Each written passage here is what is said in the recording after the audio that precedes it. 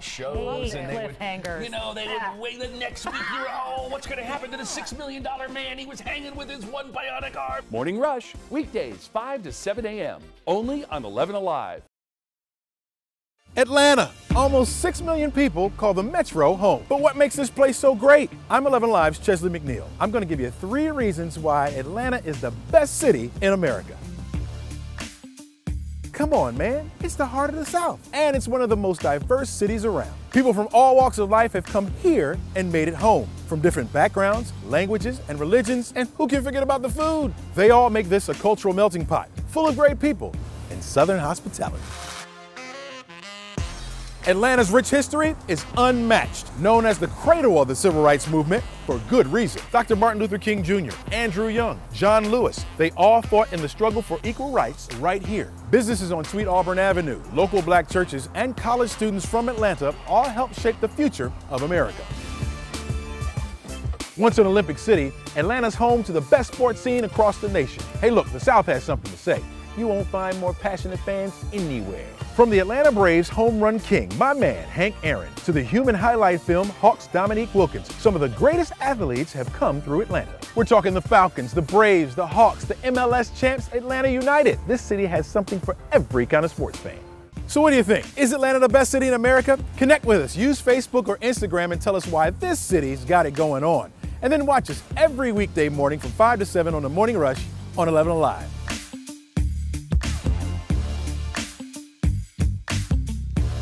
Televised newscast not enough for you? Get even more at 11 Alive's YouTube channel, where you'll find uncut interviews, extended body cam footage, live streams of 11 Alive News Primetime on the ATL starts now.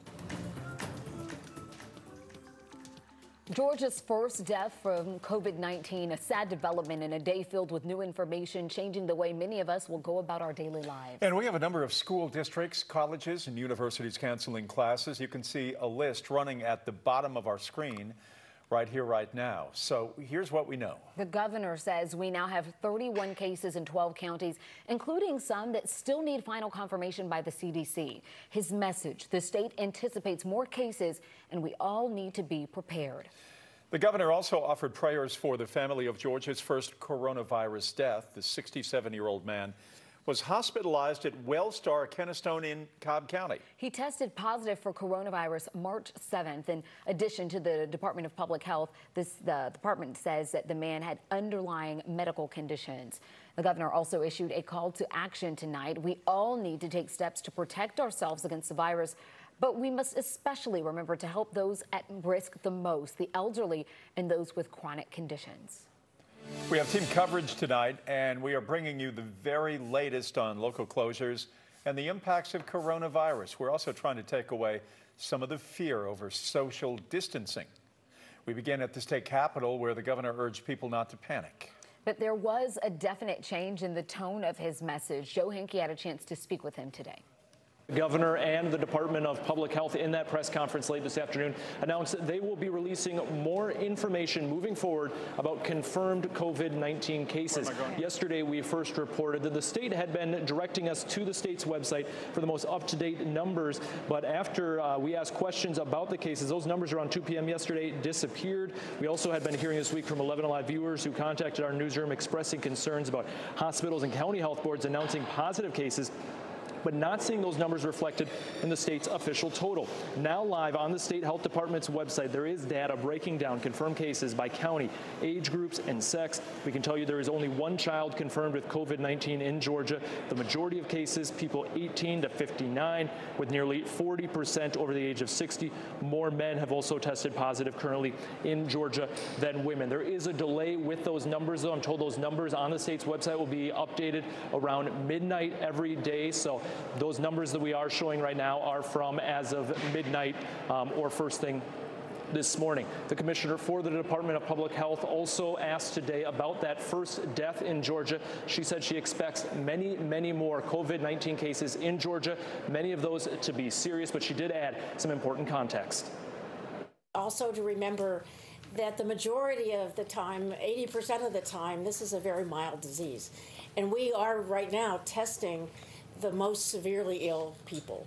And so our the rate of, of poorer outcome among the currently known cases is going to be much higher than if we actually had a screening program to screen every Georgian.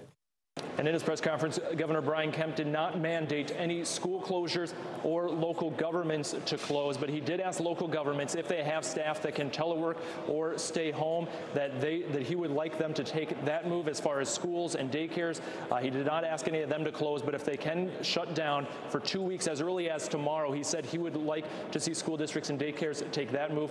Dr. Toomey also with the Department of Health saying, hey, the numbers are a little skewed at this point because there hasn't been widespread testing. It is obviously very concerning to hear about the first death from the virus, and we are hearing from the state we're going to get more cases. Information is power right now It because it helps us be prepared and make good decisions.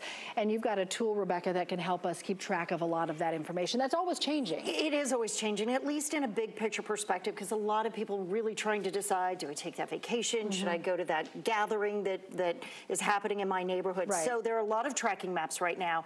And I really like this one that you see behind me. It's from John Hopkins University. And the reason I really in, like this one is that it does. It gives you that number of total cases that we're seeing. Keep in mind, this is across the globe. And you look at that number 127,000 cases. That's a big number. It is a scary number. But why I like this map is because of what they do over here on the other side of the screen. They tell you the number of deaths around the world, but they also tell you the number of people who have recovered. And you can scroll through this list to actually find out where those who have recovered are living. And if you do the math, if you add or subtract the total confirmed from the number of people recovered, you're actually going to find that there are more people who have had COVID 19, who have finished their quarantine process, who have now recovered or back out in the community trying to move on with their lives than there are people who are still at home trying to get over this illness. And within the last few hours, an announcement affecting more than 330,000 college students in the state. The university, the University System of Georgia announcing it is suspending in-person classes for now, with many private colleges also deciding to move to an online class model. 11 Alive's Latasha Givens has more on these decisions. Emory sophomore Grant Britton is glad the university was one of the first in our state to move to online learning as the confirmed coronavirus cases continue to rise. I feel like the situation is under control here in the US, but given that it could easily be very contagious, then I think that it would probably be the best option to do what they're doing with shutting down all the schools. When the dorms close, he'll have to go back home to Nashville, along with his brother, a student at Vanderbilt whose campus is also closing. He says reimbursement for room and board will come soon. We haven't been given specific monetary values of how much they'll return us for our room and board, but they said that there will be at least some reimbursement. We decided to move to an, a fully online platform and ask our students to stay at home and uh, operate online. Oglethorpe, SCAD, Clark Atlanta University, Spelman, and Morehouse colleges are all moving to digital learning. All on campus, campus sponsored activities are canceled for the duration of the semester. Every college we spoke with says arrangements will be made for students who can't move back home. Late Thursday afternoon, the University System of Georgia, which includes GSU, UGA, and Georgia Tech, decided to follow suit. The WHO declares the a pandemic. Tony Tan was initially upset that Tech did not move to online learning sooner, but feels safer knowing the university is following the recommended proximity guidelines as outlined by the CDC. In a lot of my classes, students sit right next to each other, right? CDC says the, the definition of close contact for getting this disease is about six feet. I don't have six feet between me and my, my classmates. President Trump's decision to place a travel restriction on 26 European countries sparked criticism internationally. The restrictions, which go into effect on Friday, only apply to foreign nationals. It does not include U.S. citizens or their family members. It does not include the U.K., and it is only for people not good. Some Americans rush to European airports thinking initially they needed to return home before the deadline tomorrow. One passenger says the uncertainty was unsettling. I think a lot of people panicked last night when it wasn't clear that like American citizens could still return home. So I know a lot of people that were freaked out and trying to change their flights like yesterday. There's definitely been like a lot of uncertainty, which has caused a lot of like panic. The restrictions will now last for the next 30 days. Georgia lawmakers are adapting their schedule to the outbreak of the coronavirus. They're suspending the legislative session starting next week, but plan to return at an unspecified time. 11 Live's Doug Richards spoke to lawmakers at the state capitol about shortening the legislative session. These are hard decisions to have to make. House Speaker David Ralston would only say that the legislative calendar is in flux. The Capitol becomes one of the most crowded buildings in downtown during the 40 day legislative session. And many lawmakers would like to make an expeditious exit. COVID 19 is, is a pandemic. Bob Trammell is the House Minority Leader. You know, this is a public health issue. Uh, the CDC guidance is, is generally to avoid large gatherings. Obviously, the Capitol is a large gathering of people from all over Georgia. Today, the House sent to the governor a budget resolution, the only law the legislature is legally required to pass. Lawmakers don't have much stomach to delay the conclusion of the session, fueling speculation for an early exit. I think the best thing to do at this point in time is to err on the side of caution. Eric.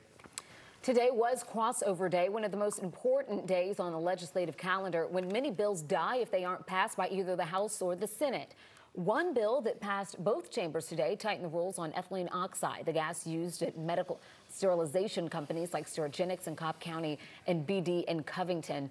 Other bills that passed, including uh, a bill regulating coal ash ponds and a bill that would criminalize college hazing. I'm Ellen Lopez. As we continue to take precautionary measures against COVID 19, many of you have questions, and we brought in 11 Alive medical correspondent Dr. Sujatha Reddy to talk to us about some of them.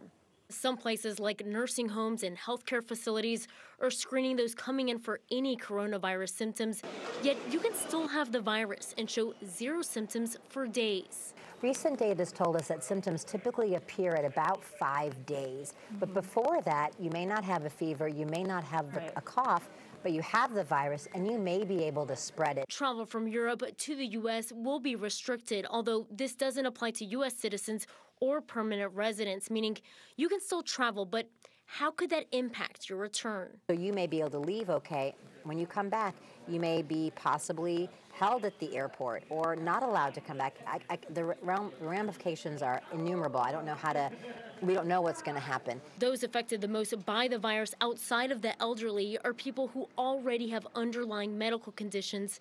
But what does that mean? So when we use the term underlying medical condition, we're talking about something where someone goes to a doctor and has medication on a standing basis for that condition. So what we're talking about would be something like you mentioned asthma. Other ones, what we've been told with this one are important are heart disease and um, high blood pressure. Um, if you happen to have any sort of lung disease, that can be an issue because this seems to be a respiratory um, uh, virus. Doctors keep warning us to take precautions to make sure that people stay safe during the pandemic. But following those precautions, like canceling major events, can make people even more nervous. Caitlin Ross explains why this type of social distancing is now necessary. There's a trending hashtag on Twitter right now cancel everything. And that's kind of how it feels. Every few minutes, we hear of another big event conference, concert, charity gala, all being canceled. It feels like a really big deal. It's scary and unfamiliar. But people who study this actually say it's the right call. The idea is to flatten the curve, stop the spread of the coronavirus before it overwhelms the healthcare system. This graphic from the CDC illustrates how this would work well. If we did nothing right now, carried on exactly as normal, we would end up here in this dark red part. The healthcare system would be overrun, above max capacity, and unable to care for people who are really sick.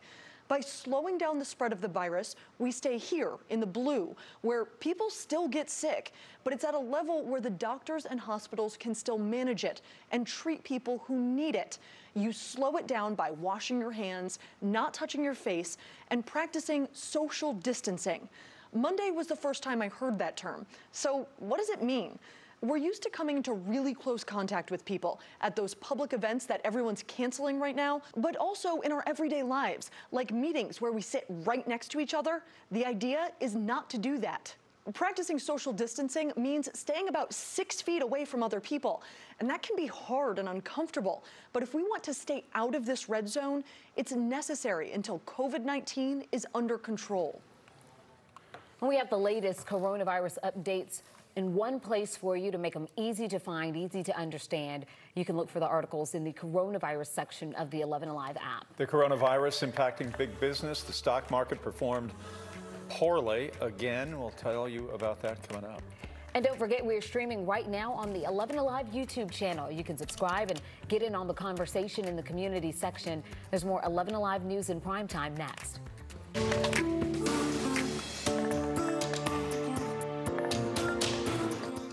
Have it with us. Morning Rush, weekdays, 5 to 7 a.m. Only on 11 Alive. Some mornings, what you want isn't what you have time for. And that's why there's the Rush Blog, the biggest news of the day in five minutes or less. Quick and convenient for all those hectic mornings. Catch the Rush Blog on the Morning Rush. Everybody has learned how to drive, so I'm going to go ahead and retire. It didn't last long. Crank up your morning rush with Crash Clark. Weekdays, 5 to 7 a.m. on 11 Alive. Traffic brought to you by John Foy and Associates. Atlanta is filled with great photo spots. And of course, I would know because this is my hometown. I'm 11 Alive's Francesca Amaker, and I'm about to show you my picks for the three best Instagram spots in Atlanta. The OutKast mural is one of Atlanta's newest hotspots. Created by the artist Jex, people flock from all over the world just to get a shot of these two hip hop legends.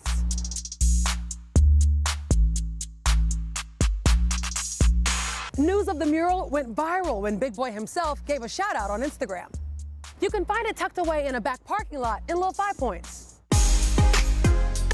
An Atlanta icon, ever changing, always interesting. The Krog Street Tunnel is full of artwork from some pretty eclectic Atlanta artists. Yeah, all we feel is good vibe with it, vibe with it. It's a good time. We don't worry about the hate. We just pass it to the side. There's graffiti, community messages, concert announcements. You really never know what you're gonna get here, and that's what makes it so special. You can find it between Cabbagetown and Inman Park. If you've never checked it out, it's a must-see. There are hundreds of works of art along the Beltline. I'm talking. The dining facility at Moody Air Force Base near Valdosta temporarily closed after an employee at the base tested positive for COVID 19. The base declared a public health emergency. It increased its health protection condition to level B, which allowed them to roll out procedures to deal with the threat. That includes continuing strict hygiene, no handshaking, and sanitizing common use items. It's important to remember COVID 19 impacts people in different ways. The group most at risk, older adults, also people who have already had serious chronic medical conditions are at risk. These include heart disease, diabetes, and asthma as well. The stock market had its biggest drop since the Black Monday crash of 1987. The Dow fell more than 2,300 points. The steep drops in the last month have wiped out most of the big gains on Wall Street during the Trump administration. Various businesses are doing what they can to limit the panic and still help people. Target, Walmart, Kroger, and Publix are all limiting purchase of certain items like hand sanitizer, soap, and disinfectant to make sure there's enough to go around for everyone. CVS is delivering prescriptions for free so people at higher risk for the virus can stay home. You can find more ways that businesses are helping on 11alive.com. There's some other stories that we are following in our speed feed tonight. Police have made an arrest in the murder of a convenience store owner. DeKalb County Police say they have arrested 42-year-old Ronnie Miller this morning. They say he is one of the three suspects wanted for the murder of 57-year-old Tesfaye Beru, who was shot and killed last month while locking up the TikTok store on Evans Mill Road. Two others still wanted, police say. Tips they received after the family held a news conference last week helped them identify Miller. Two of four people accused in the death of 21-year-old Hannah Bender were in court today. 19-year-old Dylan Reed and 18-year-old Isaac Huff pleaded not guilty to their arraignment today. They, along with 24-year-old Austin Stryker, are accused of killing Bender. Stryker and 78-year-old Jerry Harper waived their appearances. Harper's accused of helping cover up the murder. The Coweta County Sheriff's Office has a warning about a kidnapping scam. They say some citizens have reported getting a call that their child is being held in the back of a van and they have to pay to get he or she back. Victims can hear a child screaming for help in the background. They say the best thing to do, hang up the phone, but if you do engage the caller, don't say your name, your loved one's name, and ask to speak to whoever is making that call.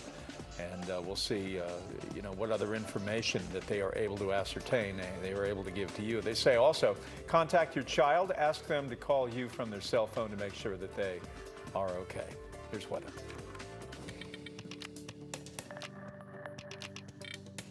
We're keeping our eye on an active weather pattern that is out to the north and west of us, and that's where they're dealing with some showers and storms and even severe weather uh, tonight. And you can see this color right here, that kind of tan color, is indicating the enhanced risk or the level three of five risk through parts of Kentucky, northern Tennessee, back into Arkansas, and that's where we're seeing those stronger storms right now. And I know you're watching this system wondering if this is going to impact us. Well, it looks like the main energy with that is going to stay to the north of us. And we are just in this light green color, which is just indicating general showers, maybe a few thunderstorms overnight, really toward tomorrow morning with that. And then uh, it's far north Georgia is uh, just a sliver of that is in the marginal risk or level one of five risk, meaning there's just a chance for a couple of isolated stronger storms that could happen there. And then on Friday, uh, even though we're going to still see a few showers around, we're not concerned about severe weather here. That severe weather threat is mainly going to be well out to the west. So we will have some showers around, but nothing really looking too severe or strong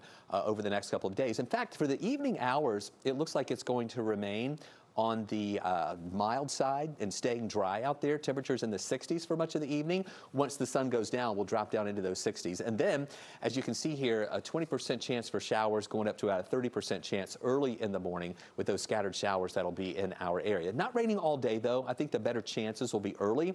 It's going to be mild to start, 61 for a high, uh, for a low, 71 for the high, with some scattered showers that'll be around. A lot of those will be diminishing later in the day. In fact, here's the timing. Tonight, we're looking fine. And then as we go through the day on Friday, a few showers more likely from Atlanta northward early in the morning. That pushes to the south and east, and a lot of that falls apart as it moves down to the south and east. By Friday, uh, in the uh, lunchtime hour, things are starting to diminish, and I really think most of us will be dry in the afternoon on Friday, except for a few spotty showers here on the south side.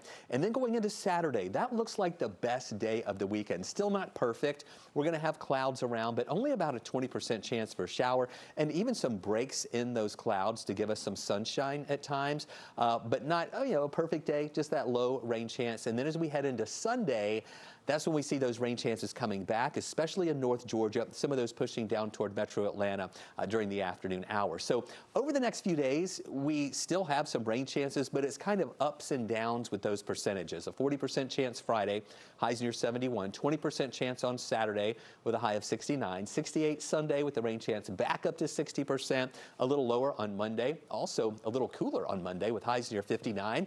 And then Tuesday, back to a 60% chance, only 30% chance chance on Wednesday, 40% chance on Thursday. So what I want you to know in looking at this and seeing all the raindrops around, it's not going to be a torrential downpour every day, all day. We're just talking about the scattered showers that'll be kind of up and down with those percentages through next week.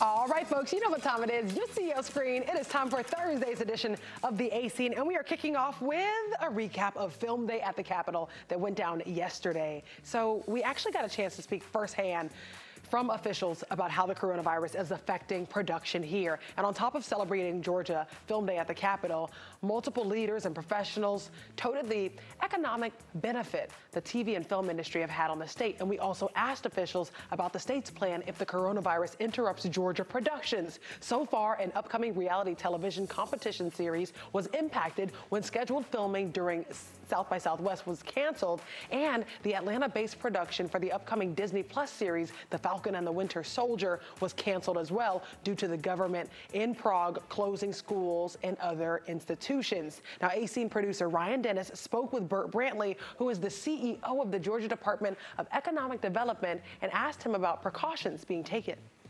Governor Kemp took a very proactive approach on really informing Georgians about what's happening and how the state is responding. Uh, and our, the film industry is no different than any other industry. They pay attention to those. Right now, it's business as usual. If you've ever been on a film set, they are very conscious about safety and health of all their workers. Uh, and so this is really something where we feel like they can continue to work. Uh, there's a usually closed set, so there's not big gatherings of people. And so this is an industry that can thrive Yeah, and in the event that a TV and film production backs out amidst coronavirus concerns, companies will still be able to receive that Georgia tax credit incentive if their production has contributed more than $500,000 to the state. Who's ready to find the love of your life? Let's go! Come on!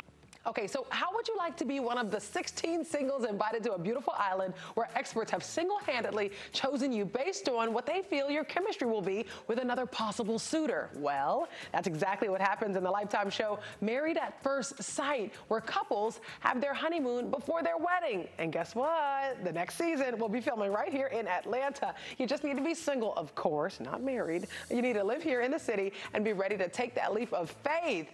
Now, if you'd like to submit, the link is right there, smack dab on your screen. All I can say is good luck and tell them Francesca sent you. So ugly. A heartbreaking, a heartbreaking moment shared online, her mother's touching response, plus how thousands are showing their support as well. Show you my picks for the three best Instagram spots in Atlanta.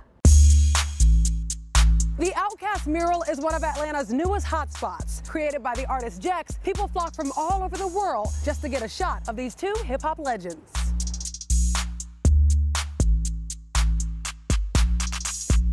News of the mural went viral when Big Boi himself gave a shout out on Instagram. You can find it tucked away in a back parking lot in Little Five Points. An Atlanta icon, ever changing, always interesting. The Krog Street Tunnel is full of artwork from some pretty eclectic Atlanta artists. Yeah, all we feel is good vibe with it, vibe with it. It's a good time. We don't worry about the hate. We just pass it to the side. There's graffiti, community messages, concert announcements. You really never know what you're gonna get here, and that's what makes it so special. You can find it between Cabbagetown and Inman Park. If you've never checked it out, it's a must-see. There are hundreds of works of art along the Beltline. I'm talking murals, sculptures, photography. This beautiful mural was created by the artist Hense. It's 100 feet long, and even though it was created in 2014, it still remains very popular to musicians and photographers alike.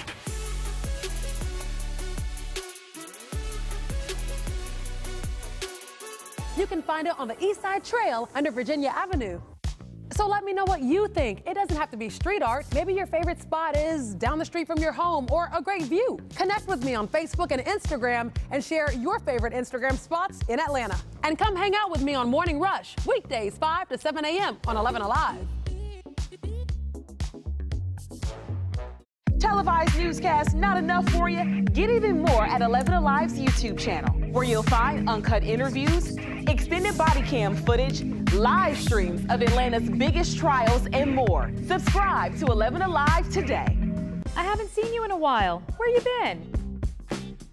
It looks like fun. they are fun. They're and they're lot of fun. convenient, but they're being dumped everywhere. 5,000 scooters at one time active throughout the city. I enjoy them myself. They're fun. There's got to be some regulations. I just feel like we have to evolve with the times, though. They're not Mhm. going anywhere. They shouldn't go anywhere. It's a new Yeah. way of transporting. Yeah. We have to evolve. I'm going to be looking for you next time, so use the hashtag and let us know you're hanging out with us. Morning Rush, weekdays, 5 to 7 a.m. You see them all day, every day.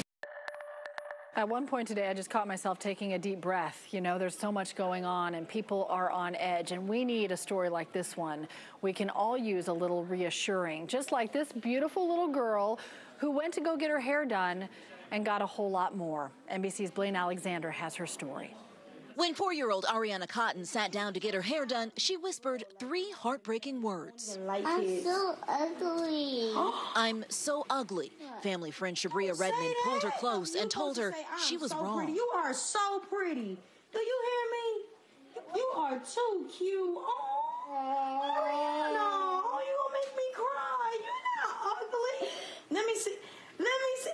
You got two dimples. When Shabria posted the moment online, the world agreed. Film director Matthew Cherry started the hashtag artwork for Ariana, flooded with gorgeous images of her. Ariana, you are black and beautiful. Big names chiming in, including Michelle Obama. In a world that sometimes tries to say otherwise, I want to tell you and every other beautiful, intelligent, brave black girl just how precious you are.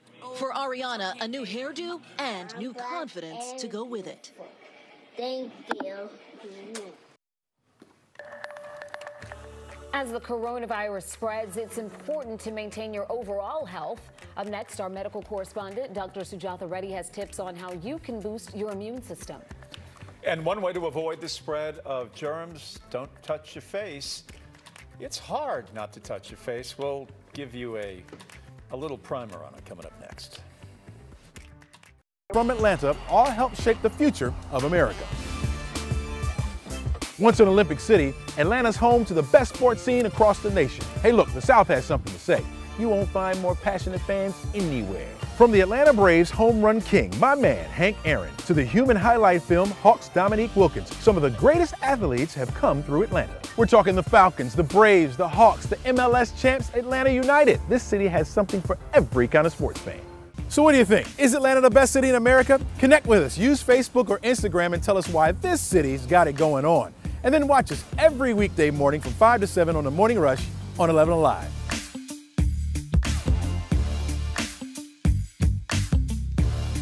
Televised newscasts not enough for you? Get even more at 11 Alive's YouTube channel, where you'll find uncut interviews, extended body cam footage, live streams of Atlanta's biggest trials, and more. Subscribe to 11 Alive today.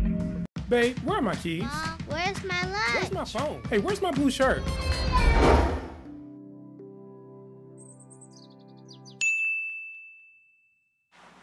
Where's my pen? Have you seen it? Everybody has learned how to drive, so I'm going to go ahead and retire. It didn't last long. Crank up your morning rush with Crash Clark. Weekdays, 5 to 7 a.m. on 11 Alive. Traffic brought to you by John Foy and Associates. I woke up at 2 in the morning to be here. Where were you? Once you allow it, right, then it sets you up for the entire week where you just have lost it. Like on a, on a Sunday, it's like, oh, let's just order some Chinese food. And of course, you wind up eating tons of that. And then on Monday, you're like, well, I got leftovers. I can't let it go to waste. Auntie wants to give you a plate to take home from the barbecue. Auntie. Auntie, don't invite me to the barbecue. I'm going to be looking for you next time, so use the hashtag and let us know you're hanging out with us. Morning Rush, weekdays, 5 to 7 a.m., only on 11 Alive.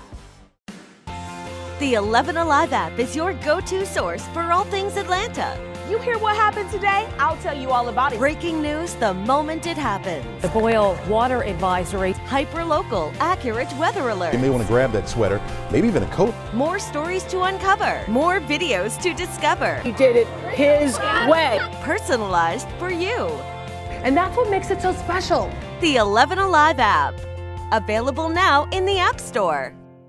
Hey, I got the ways to go. I got moves to make, homie, but I stay in the flow. See, I just do what I say do. No, movement ain't. You assume doing.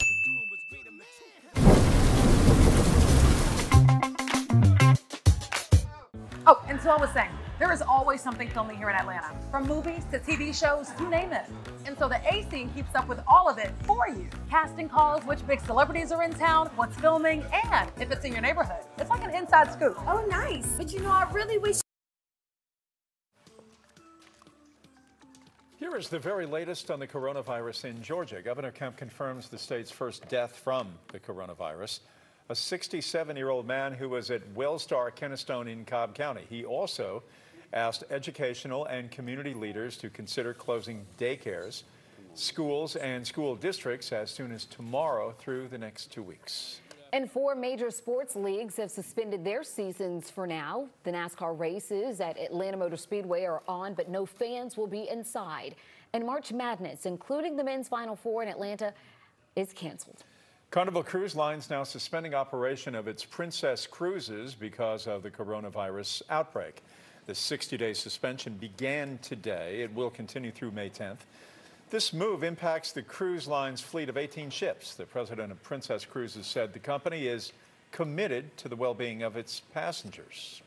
Princess Cruises has been hit particularly hard by the pandemic. Just after midnight, another round of Grand Princess passengers arrived at Dobbins Air Reserve Base in Marietta. The group will be tested and quarantined for 14 days, similar to the 250 passengers who arrived on Wednesday morning. Both groups were possibly exposed to the coronavirus on the Grand Princess cruise ship. The ship is now docked in Oakland, California, after nearly two dozen passengers tested positive for the virus. This year's annual Hunger Walk has officially been canceled out of an abundance of caution. It was scheduled for Sunday, and this would have been the 36th consecutive year Atlanta hosted the event. Coronavirus is impacting daily lives in many ways. People over 60 with chronic medical conditions are most at risk. And now with the virus spreading more, we're hearing more numbers in Georgia and throughout the world. It's paramount we take the measures we each can to stay healthy. Joining us is 11 Alive medical correspondent Dr. Sujatha Reddy.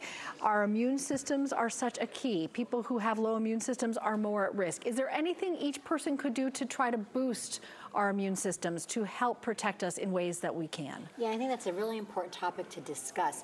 One thing with your immune system, though, is these are not things that are going to work overnight. But you know, this may last for a few weeks, and hopefully not more than that, but it's quite possible it's going to last for a month or so.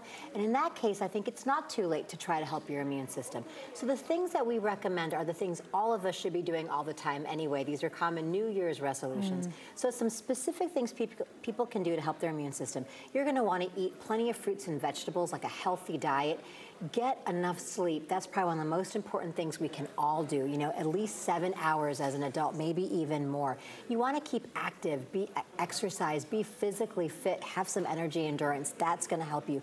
If you're a smoker, absolutely quit smoking because that has all the negatives and absolutely nothing positive. Mm. Limit your alcohol. Make sure you're also controlling other conditions. If you have high blood pressure, you have diabetes, keep those in check. That's very important because all that does affect your overall health.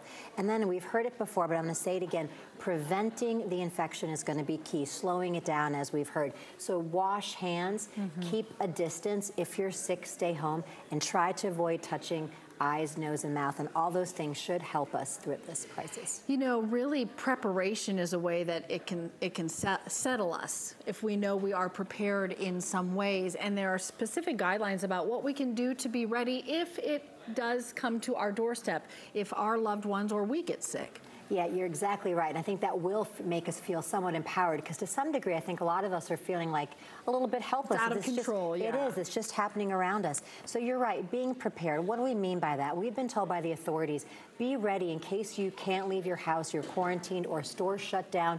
Be prepared in your home for two to four weeks. The most important advice there, I think, is make sure you have a minimum 30, maybe even 90 day supply of prescription medication. That's going to be key. Mm. Beyond that, you also want to make sure you have medications at home for the common over the counter complaints that a lot of sure. us sometimes get. Things like headaches, if you get you know, Tylenol or Advil, mm -hmm. you know, cough medicine, if you have bowel issues, diarrhea medicine, those kind of things. Keep those okay. on hand because you may not be able to run out and get them. You also want to make sure you have, if you have high blood pressure, a blood pressure cuff so you can monitor at home. You may not be able to go to the fire station and get your blood pressure mm -hmm. checked. If you have diabetes, a glucose monitor, things like that. Think, think a little bit ahead about what you might need and you may not be able to run out. And I think that'll keep people empowered and safe if they're in their homes. All right important to reiterate 80% of people have mild symptoms, but we must be prepared. Absolutely. Thank you, Dr. Reddy. Appreciate it. We want to remind you the CDC recommends cleaning frequently touched surfaces like tables, doorknobs, light switches. Use household cleaners and EPA registered disinfectants to clean those surfaces. And if you don't have those, here's another option for you. You can use diluted household bleach or alcohol solutions with at least 70% alcohol. Remember to wear gloves and use eye protection when using chemicals inside your home. And also, if you're cleaning inside, you might want to consider opening the windows and doors to allow fresh air to come in. And after you're finished, be sure chemicals are stored out of reach of children. We have put all the latest coronavirus updates in one place for you to make them easy to find and see and understand. You can look for all of those articles in the coronavirus section of the 11 Alive app. In Iraq, three service members were killed, including two Americans in a rocket attack on a military base. That tops our speed feed. One of the officials said five service members were seriously wounded and evacuated from the Camp Taji base. That's on Wednesday. Seven others still being evaluated right now. The U.S. military said those names of the killed would be released after notifying the families. A U.S. military spokesman said about 18 rockets struck the base, and a rocket rigged truck was found a few miles away. The U.S. has not confirmed who is behind the attack. A big movie premiere in Atlanta now canceled. The screening for A Quiet Place 2 was scheduled for Monday at Regal Hollywood in Chamblee, but concerns over the coronavirus have led executives at Paramount Studios to cancel it. The studio released a statement saying it hopes to bring the film to audiences this year once they better understand the impact of the pandemic. Governor's Office of Highway Safety says they're teaming up with four other state agencies to keep the roads safe for St. Patrick's Day. They say that local police agencies and state troopers will be out in full force cracking down on drunk driving. They encourage revelers to plan ahead and to get a designated driver or use a ride sharing app. 25% of all traffic deaths in 2018 were due to alcohol related crashes. A Georgia Animal Rescue is at the center of a multi-state investigation that triggered the surrender of 70 animals. And investigators now want to know where money donated to care for those dogs went. Reveal investigator Rebecca Lindstrom traveled to Florida to confront those involved.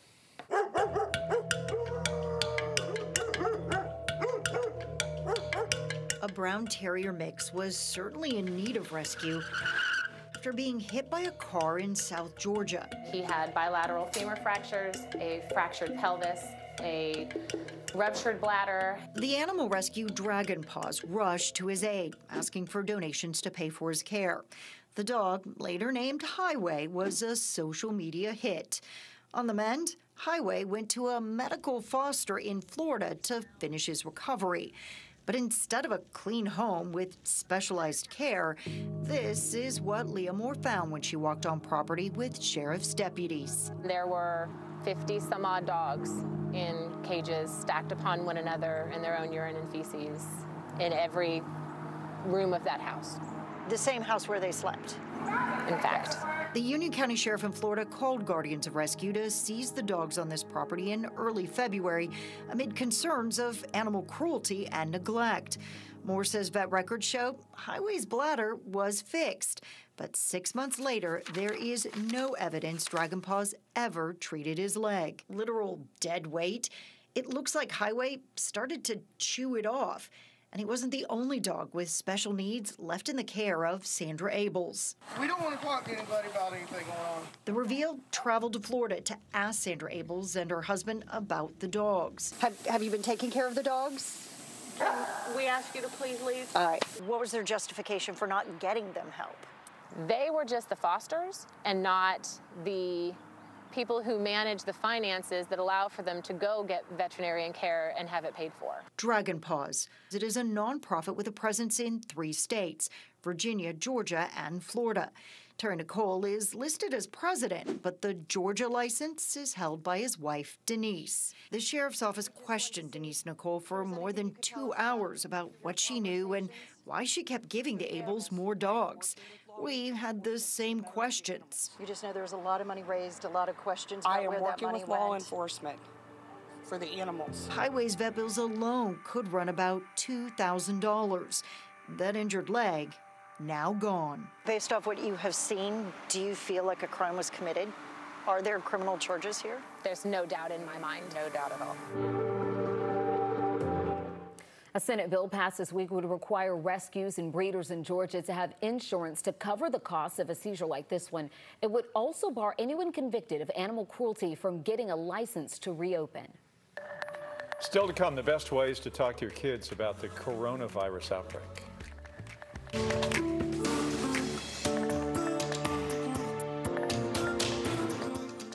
Cold in my eyes. You're a nice guy too, Yeah. Chesley. I'm saying in my experience, when growing up, good guys didn't Oh, finish. Somebody broke his heart somewhere along the line. We're here every weekday morning, so come on, hang out with us. Morning Rush, weekdays, 5 to 7 a.m., only on 11 Alive. Televised newscast, not enough for you? Get even more at 11 Alive's YouTube channel, where you'll find uncut interviews, extended body cam footage, live streams of Atlanta's biggest trials, and more. Subscribe to 11 Alive today. You didn't get my text? The whole crew got together for coffee this morning. I'm, I'm learning the taste of water because I'm, I'm sugary. Oh, okay. yeah, What right, right. about And that? the reward would be Slimming down. Okay. Yes. Right, yeah, okay. yeah, a little water in my cup. And and beautiful skin. Well, you know, even too. more beautiful skin. You know, when it's all hydrated and everything else. I'm not gonna be able to sit next to you in a few months. Don't drink your morning coffee alone. Have it with us. Morning Rush, weekdays, 5 to 7 a.m., only on 11 Alive. Some mornings, what you want isn't what you have time for. And that's why there's the Rush Block, the biggest news of the day in five minutes or less. Quick and convenient for all those hectic mornings. Catch the Rush Block on the Morning Rush. Everybody has learned how to drive, so I'm going to go ahead and retire. It didn't last long. Crank up your morning rush with Crash Clark. Weekdays, 5 to 7 a.m. on 11 Alive. Traffic brought to you by John Foy and Associates. Atlanta is filled with great photo spots. And of course, I would know because this is my hometown. I'm 11 Alive's Francesca Amiker, and I'm about to show you my picks for the three best Instagram spots in Atlanta. The OutKast mural is one of Atlanta's newest hotspots. Created by the artist Jex, people flock from all over the world just to get a shot of these two hip hop legends.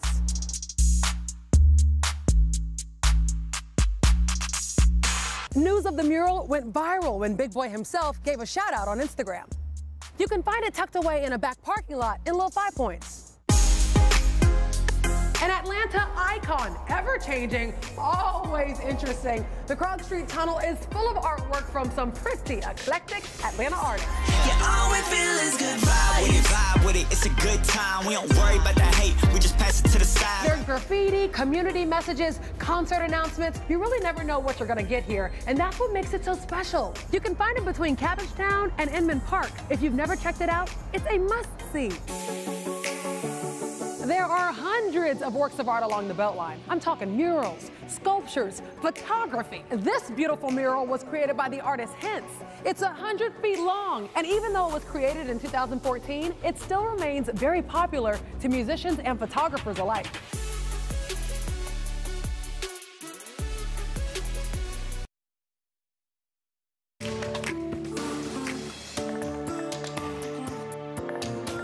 Several schools now making the decision to close after Governor Kemp encouraged the move in a news conference earlier today. Fulton County Schools, Atlanta Public Schools, and Cobb County Schools, just the very latest to make the call. Meanwhile, the university system of the University of Georgia has announced classes will be suspended for two weeks at all of its colleges and universities around the state. We want to remind you that we have a list of all of these closures on our website, 11alive.com. We also have a running list at the bottom of your screen, as you can see. We're working around the clock to try to keep you updated on all of these coronavirus related closures. Well, with schools closing and communities canceling events, parents might be wondering how to explain what's going on to your children. I spoke with a professional counselor for advice on having that conversation. He says the number one rule is to listen to your child first. Every child is different, and age plays a role in all of this. So, hearing what they have to say will help you assess where they are. You might start by asking, What have you heard about this? That gives you a chance to address any misinformation or calm any fears they might have. Uh, Dr. Eddie Reese, or rather Mr. Eddie Reese, also says you don't want to share too much. And as parents or other trusted adults, it's your job to understand how you're processing everything yourself before speaking with children. Check your own uh, feelings and thoughts about it before you go talk to your children. If you feel terrified and you go, Oh, I've got to talk to my kids about it, they're going to pick up that you're terrified. So if they're not, they're going to then be terrified. Reese also suggests asking additional questions throughout the conversation to see how your child is processing what you're saying and make sure you speak to them in their own language on their own level. We're going to see a few showers to start off the day on Friday. We're going to go with the 6 on the wasometer. That's our scale from 1 to 11, where an 11 is a perfect day. It'll be a mild start with temperatures in the lower 60s. A few of those scattered showers that'll be around, but they'll be diminishing as they push down to the south and over to the east of us to around the lunchtime hour. And then in the afternoon, we're thinking we're going to see uh, the rain chances really low. Still a good coverage of clouds around, maybe a few peaks of sunshine with high temperatures getting up to about 71 degrees. Here's the timeline of what we're watching tonight mainly dry. And then look what happens overnight and toward tomorrow morning. We're going to see some showers coming in from the north, pushing down closer to Atlanta. This is by 7 in the morning. So expect to drive through some showers in the morning. But look what happens as this moves to the south and over to the east. A lot of it falls apart by lunchtime. We'll still have clouds around, but then in the afternoon hours, lower rain chances, a few showers possible here on the south side for Friday afternoon. I think it'll be dry Friday night. And then Saturday looks like the best weather day of the weekend. Even some breaks in the clouds here on Saturday afternoon to give us some sunshine uh, with uh, rain chances only at about 20%. I really think most of us will get through the day Saturday with no rain. Then on Sunday, another little disturbance moves through with some showers in the north Sunday morning, and then by afternoon, just a few of those scattered showers will be here. Again, not raining all day long and not a torrential downpour either. So as we look at those rain totals, it's really not that impressive for tomorrow. I think it's less than a half inch with those higher amounts up in North Georgia. We're not really not going to add much to that on Saturday. Then on Sunday, another little batch of rain moves through. We've got those rain totals, the purple in Northwest Georgia indicating an inch and a half to two and a half inches around Atlanta. Most likely still less than a half inch with maybe some of those higher totals west and north. And even into Monday, the rain totals don't go up that much. But once we get into Tuesday, that's when we see some of those amounts coming up to a half inch to an inch and a half. Now remember, this is between now and then, not all of that happening on Tuesday, but those higher amounts up in North Georgia. So by looking at this for the next uh, six to seven days, you see a rain totals here maybe up to an inch and a half in Atlanta. And then on the north side, we could see some spots with two and a half to four inches. So I really think that the highest rain chances will be more up to the north uh, of us for this next week. But you can see each and every day we have percentages there for some rain, but they kind of go up and down a little bit. 40% chance Friday, then a 20% chance Saturday, back to 60% chance on Sunday, a little lower on Monday with temperatures cooling off a little bit at 59 degrees. On Tuesday, we're back up to 60% with highs near 65, and then temperatures back to the 70s on Wednesday and Thursday with rain chances at about 30% Wednesday, 40% on Thursday, and with some of those scattered showers, it is possible that we could have some rumbles of thunder and flashes of lightning. But at this point, we're not seeing anything from the models that look that outstanding for a risk for severe weather. Crash with a MARTA bus kills five people, including a toddler and a four-year-old child. What we are learning about the investigation. Accurate weather alert. You may want to grab that sweater, maybe even a coat. More stories to uncover. More videos to discover. He did it his way. Personalized for you. And that's what makes it so special. The 11 Alive app. Available now in the App Store. Hey, I got the ways to go. I got moves to make, homie, but I stay in the flow. So y'all just do what I say I'ma do. No, my movement ain't fading. You could assume it.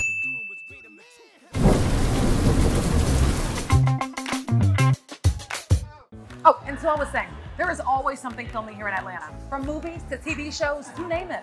And so the A scene keeps up with all of it for you. Casting calls, which big celebrities are in town, what's filming, and if it's in your neighborhood. It's like an inside scoop. Oh, nice. But you know, I really wish you would have told us we were filming this today. Ooh, did I not text you? All right.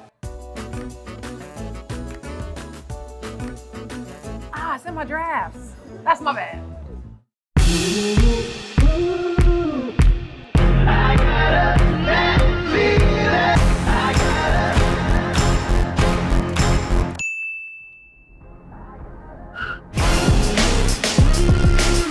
So you slept in and you missed morning rush, huh? Well, here's what you missed. In my experience, good guys do finish last. I consider myself a nice guy. I've got the most beautiful woman in the world in my eyes. You're a nice guy too, Yeah. Chesley. I'm saying in my experience, when growing up, good guys didn't Oh, finish Chesley. Oh. Somebody broke his heart somewhere along the line. We're here every weekday morning, so come on, hang out with us. Morning Rush, weekdays, 5 to 7 a.m., only on 11 Alive. Televised newscasts not enough for you? Get even more at 11 Alive's YouTube channel, where you'll find uncut interviews, extended body cam footage, live streams of Atlanta's biggest trials, and more. Subscribe to 11 Alive today. You didn't get my text? The whole crew got together for coffee this morning. I'm, I'm learning the taste of water because I'm, I'm sugary. Ah, yeah, right, right. about And that? reward would be Slimming down. Okay, Yes, yes. yeah, okay. yeah, a little water in my cup. And and beautiful skin. Well, you know, even too. more beautiful skin, you know, when it's all hydrated and everything else. I'm not gonna be able to sit next to you in a few months. Don't drink your morning coffee alone. Have it with us. Morning Rush, weekdays, 5 to 7 a.m., only on 11 Alive. Some mornings, what you want isn't what you have time for. And that's why there's the Rush Block, the biggest news of the day in five minutes or less. Quick and convenient for all those hectic mornings. Catch the Rush Block on the Morning Rush. everybody has learned how to drive, so I'm going to go ahead and retire. It didn't last long. Crank up your morning rush with Crash Clark. Weekdays, 5 to 7 a.m. on 11 Alive. Traffic. A collision with a MARTA bus has killed five people, including a 19 month old boy and a four year old girl. Atlanta police believe that speed may have been a factor in this when a Nissan carrying seven people lost control and crossed into oncoming traffic last night. That's when the bus traveling on Bolton Road near Donald Lee Holloway Parkway, uh, Hollowell Parkway hit the driver's side of the car. Latanya Trice says her daughter and grandchildren were inside that car. They had just left her home when she got the tragic call. I didn't know who, but I knew somebody didn't make it. And before she left, I was sitting in the, in the living room eating. She, she walked in the kitchen. She said, Mama. I said, Yeah, baby. She said, I love you. I said, I love you too. And those was her last words to me. The 28 year old driver and a 12 year old girl are in critical condition at the hospital now. Investigators say no car seats were found in the car for the baby and four year old who died. The bus driver was taken to the hospital with minor injuries. The two passengers on board the bus were not hurt. There are a number of tips to prevent spreading germs. One of them, avoid touching your face, but that's not as easy as it sounds. was created by the artist Hense. It's 100 feet long, and even though it was created in 2014, it still remains very popular to musicians and photographers alike.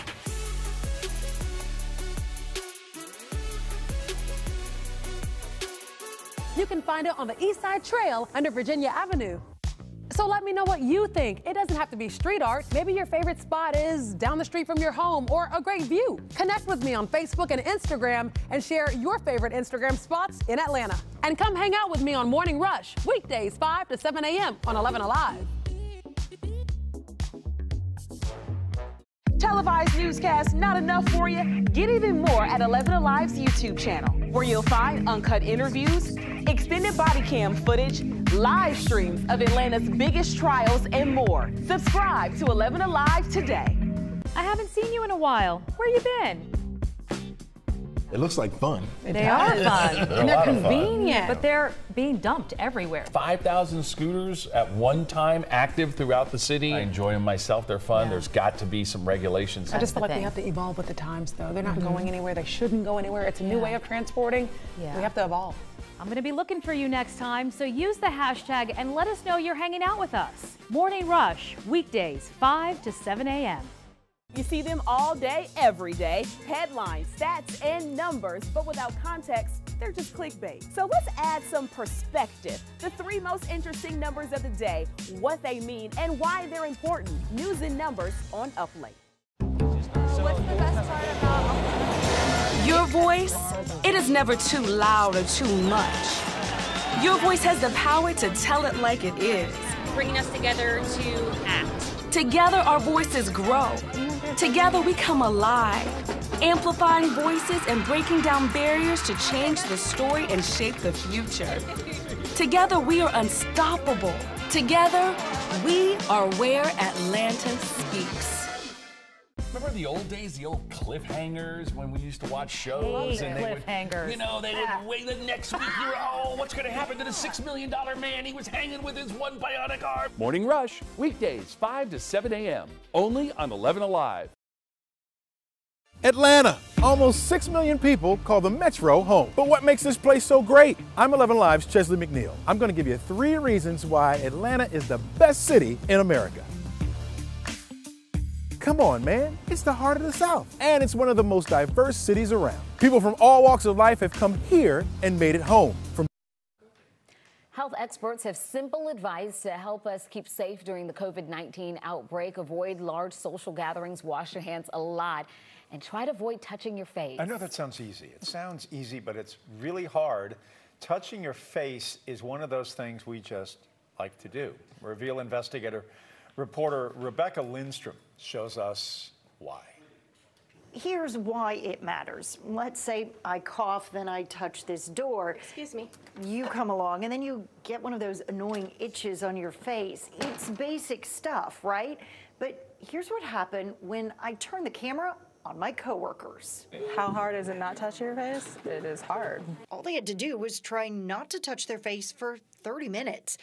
They just couldn't do it. Ah, I didn't. Yeah, I definitely was aware that there was a camera filming me, and I tried hard not to touch my face, but it's just so difficult. Difficult. Our producer Andre touched his face 19 times. All the while, another coworker feverishly cleaned her workspace behind him. You know, you might have noticed a bunch of, um, or you know, looking away because I'm going. I'm not supposed to do that. But even then, he couldn't stop. Most people we watched made contact about nine times.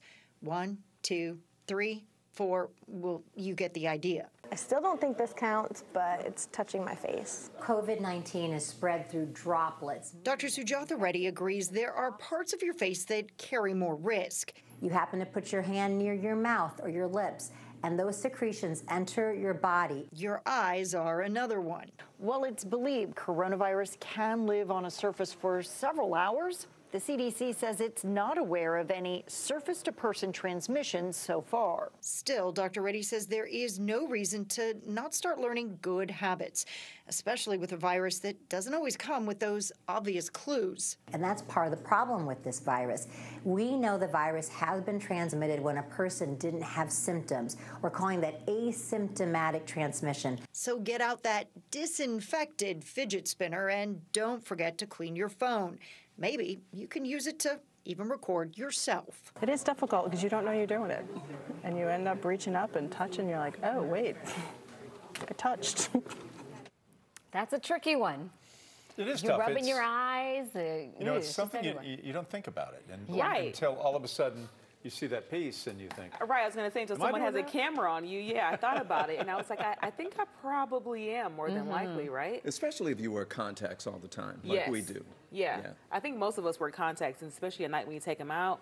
You want to mm-hmm. just readjust the eyes. Mm-hmm. It's All part right. of the deal. We're going to work on better habits, guys. Yes. Very eye opening. too opening. late for me. too late for you. Never too late. Never too late. All right, folks, it's almost 9 o'clock. We have a lot coming up on Primetime News. Government leaders keep saying they now have the tests they need to confirm COVID 19 cases, but we're hearing from viewers saying they're having no luck getting tested. Our reveal investigators are looking into their claims. And stick around until 10 o'clock hour uh, when we're going to speak to the governor one on one about the state's response to COVID 19. 11 Alive News Primetime on the ATL starts now. Georgia's first death from COVID 19, a sad development in a day filled with new information, changing the way so many of us go about our daily lives. So we have a number of school closures or districts and colleges canceling classes, and you can see that list running at the bottom of your screen. The governor says we now have 31 cases in 12 counties, including there's still some uh, final confirmation that needs to be done by the CDC. And he says the state anticipates more cases and that we all need to be prepared. The governor also offered prayers for the family of Georgia's first coronavirus death. The 67 year old man was hospitalized at Wellstar Kennestone in Cobb County. Well, he tested positive for coronavirus on March 7th. In addition, the Department of uh, Public Health says the man had underlying medical conditions. The governor also issued a call to action tonight. We all need to take those steps to protect ourselves against the virus, but we must especially remember to help those most at risk, the elderly and those with chronic conditions. We do have team coverage tonight bringing you the very latest on the local closures and impacts of coronavirus. We're also trying to take away some of the fear over social distancing.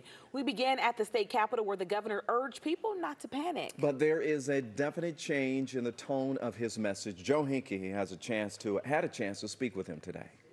The governor and the Department of Public Health in that press conference late this afternoon announced that they will be releasing more information moving forward about confirmed COVID-19 cases. Yesterday, we first reported that the state had been directing us to the state's website for the most up-to-date numbers, but after uh, we asked questions about the cases, those numbers around 2 p.m. yesterday disappeared. We also had been hearing this week from 11 Alive viewers who contacted our newsroom expressing concerns about hospitals and county health boards announcing positive cases but not seeing those numbers reflected in the state's official total. Now live on the state health department's website, there is data breaking down confirmed cases by county, age groups, and sex. We can tell you there is only one child confirmed with COVID-19 in Georgia. The majority of cases, people 18 to 59, with nearly 40% over the age of 60. More men have also tested positive currently in Georgia than women. There is a delay with those numbers, though. I'm told those numbers on the state's website will be updated around midnight every day. So those numbers that we are showing right now are from as of midnight um, or first thing this morning. The commissioner for the Department of Public Health also asked today about that first death in Georgia. She said she expects many, many more COVID 19 cases in Georgia, many of those to be serious, but she did add some important context.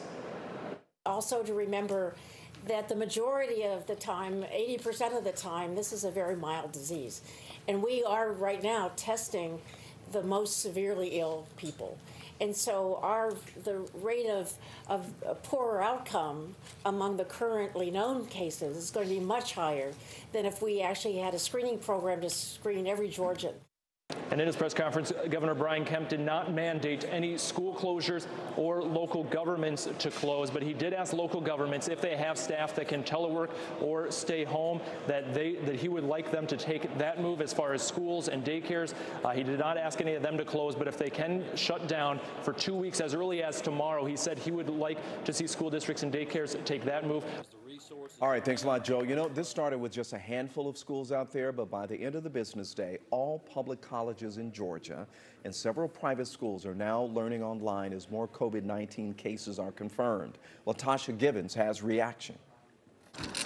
Emory Sophomore Grant Britton is glad the university was one of the first in our state to move to online learning as the confirmed coronavirus cases continue to rise. I feel like the situation is under control here in the U.S., but given that it could easily be very contagious, then I think that it would probably be the best option to do what they're doing with shutting down all the schools. When the dorms close, he'll have to go back home to Nashville, along with his brother, a student at Vanderbilt whose campus is also closing. He says reimbursement for room and board will come soon. We haven't been given specific monetary values of how much they'll return us for our room and board, but they said that there will be at least some reimbursement. We decided to move to an, a fully online platform and ask our students to stay at home and uh, operate online. Oglethorpe, SCAD, Clark Atlanta University, Spelman, and Morehouse colleges are all moving to digital learning. All on campus, campus sponsored activities are canceled for the duration of the semester. Every college we spoke with says arrangements will be made for students who can't move back home. Late Thursday afternoon, the University System of Georgia, which includes GSU, UGA, and Georgia Tech, decided to follow suit.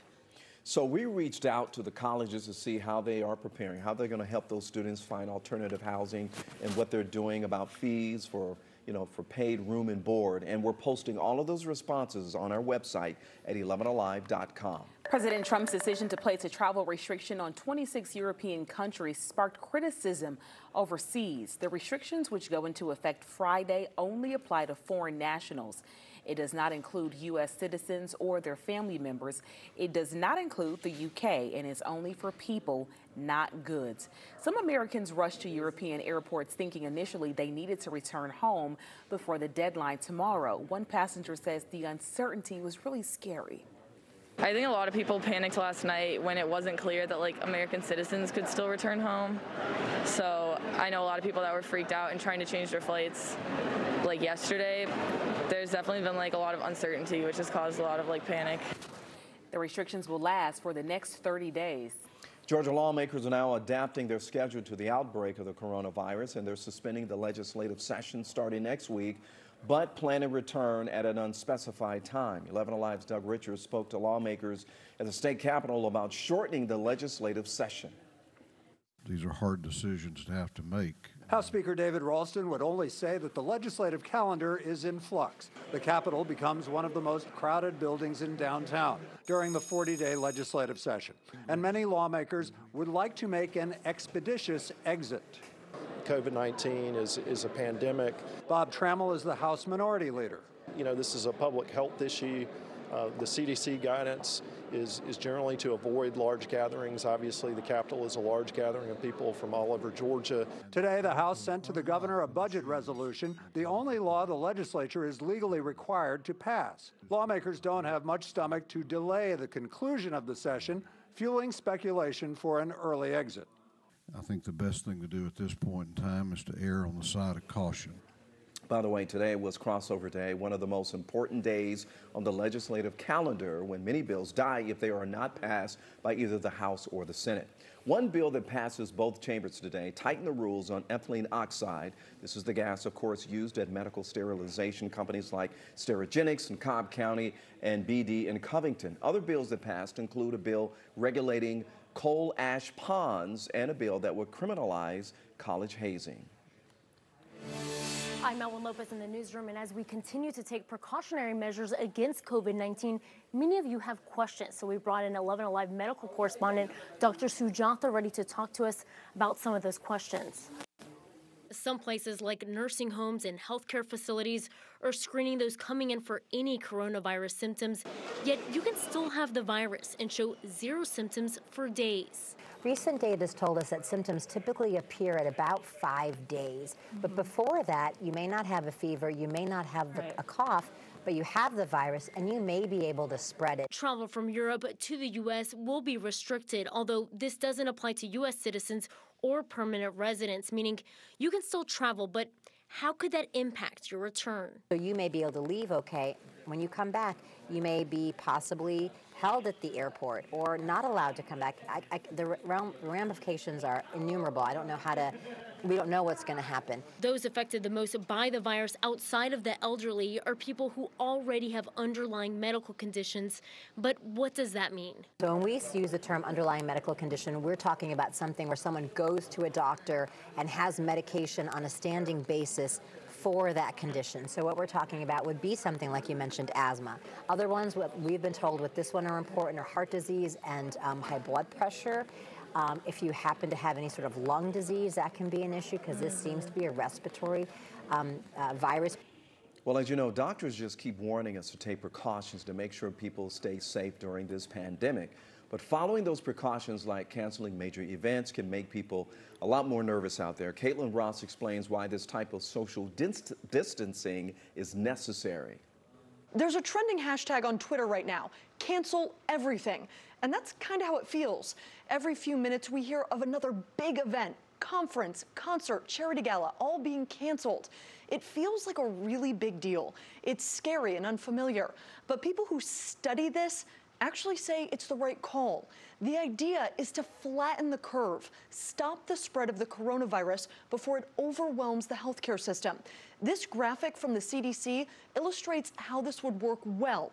If we did nothing right now, carried on exactly as normal, we would end up here in this dark red part. The healthcare system would be overrun, above max capacity, and unable to care for people who are really sick. By slowing down the spread of the virus, we stay here in the blue, where people still get sick, but it's at a level where the doctors and hospitals can still manage it and treat people who need it. You slow it down by washing your hands, not touching your face, and practicing social distancing. Monday was the first time I heard that term. So, what does it mean? We're used to coming into really close contact with people at those public events that everyone's canceling right now, but also in our everyday lives, like meetings where we sit right next to each other. The idea is not to do that. Practicing social distancing means staying about six feet away from other people, and that can be hard and uncomfortable. But if we want to stay out of this red zone, it's necessary until COVID 19 is under control. We have the latest coronavirus updates all in one place to make them easy to find and understand. And you can look for the articles in the coronavirus section of the 11 Alive app. You follow the recommendations of your employer, your doctor, all the experts, and still cannot get tested for coronavirus. So, what do you do? Coming up, why some symptomatic patients say they're not being tested. Chief Meteorologist Chris Holcomb is live on Facebook right now taking your weather questions. You can join the conversation on his Facebook page. We're going to catch up with him right after the break. And don't forget, we're also streaming right now on the 11 Alive YouTube page. So go ahead and subscribe and join the conversation in the community section. More 11 Alive news in prime time after the break.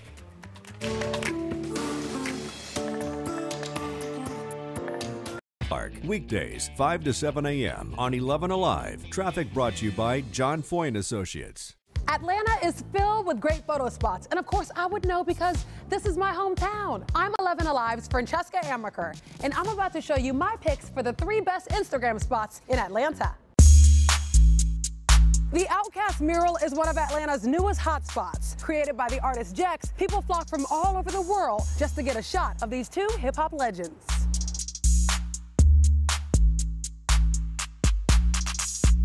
News of the mural went viral when Big Boi himself gave a shout out on Instagram. You can find it tucked away in a back parking lot in Little Five Points. An Atlanta icon, ever changing, always interesting. The Krog Street Tunnel is full of artwork from some pretty eclectic Atlanta artists. All we feel is good vibes. We vibe with it, it's a good time. We don't worry about the hate, we just pass it to the side. There's graffiti, community messages, concert announcements. You really never know what you're gonna get here, and that's what makes it so special. You can find it between Cabbagetown and Inman Park. If you've never checked it out, it's a must-see.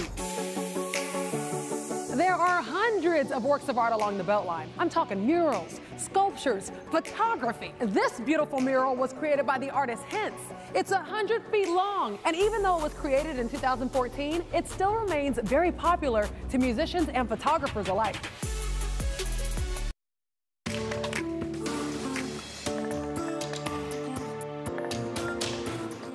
Where are the tests? The federal government says millions of coronavirus tests are available. In Georgia and more are coming next week. But we're hearing from symptomatic people who say they cannot get tested. So we're dedicating an entire team of investigative journalists to this issue as part of our commitment to helping with facts, not fear. 11 Alive Chief Investigator Brendan Keefe shows us why people who meet the criteria say they can't get tested. So I call my doctor this morning and it starts this two and a half hour runaround. And the conclusion I have is no one has tests. Cheryl doesn't want us to use her last name, but she does want us to find out why she can't get a coronavirus test. I'm sorry. They told me to call the health department. We talked with Cheryl by FaceTime because she says she has COVID 19 symptoms, including a fever, dry cough, and trouble breathing. She's also in two high risk groups, over 60, with a compromised immune system. Hopefully, I don't have it, but I don't know. If I do have it, I don't want to infect all these people. But with a, no way to get a test, how do you know? Call your doctor's office if you believe you may have the novel coronavirus. Within hours of that statement, call logs confirm Cheryl called her general practitioner's office, which she says gave her a coronavirus hotline for the hospital physicians group. She says the hotline told her they don't have any tests yet. Cheryl called her county and state health departments, which she says referred her to the CDC in Atlanta. She says the CDC insisted only her general practitioner could order a coronavirus test, so she called back. The doctor's office recommended she call her employer. After two and a half hours on the phone, still no test. It's a vicious cycle. Call here, call here, call here, call here.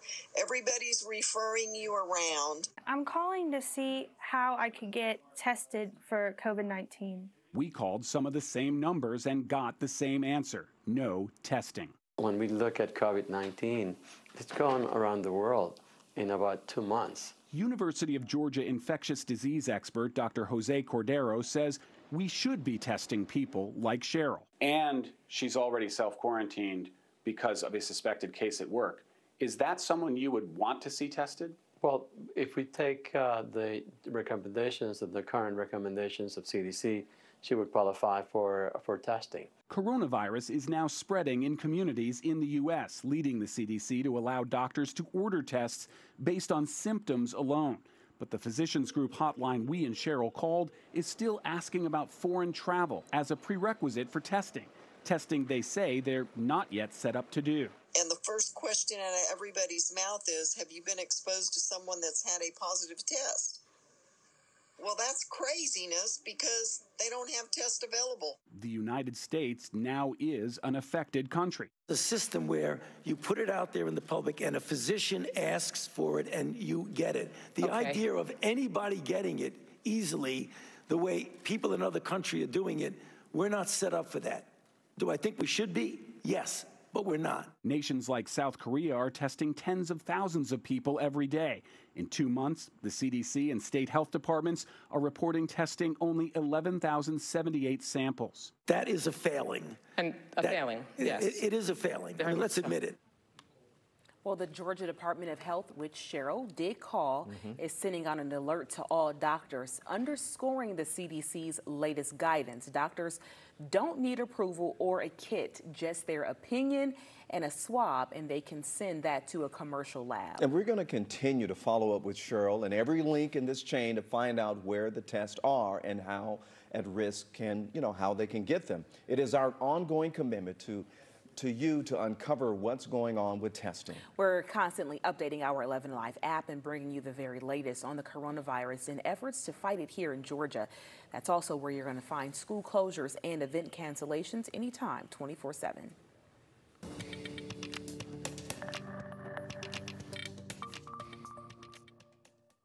Storm Trackers here with you live on the ATL, as well as my phone standing right here, uh, as I am on with about 200, between 200 and 250 people on Facebook Live. And we've been discussing weather and the storms that are out to the west. A lot of folks are wondering if those storms in Tennessee uh, and, and Kentucky and back into Arkansas are going to make it our way. So I'm going to break that down for you. If you have additional questions about the weather, though, join us in the conversation on my Facebook page, Chris Holcomb 11 Alive. Here's what's happening now. No rain in our area. That's a good thing. But let me take you out to the north and to the west. And this is where we have the storms. Let's start with this up into Kentucky first, where we have some showers and storms that are rolling through, a tornado watch in effect. We do have a severe thunderstorm warning with this. We had some tornado warnings earlier in Kentucky, but those have expired. And I had someone on Facebook Live just a moment ago really concerned about her daughter in Nashville after, you know, what they dealt with last week with the or you know, with the tornadoes that came by a couple weeks ago.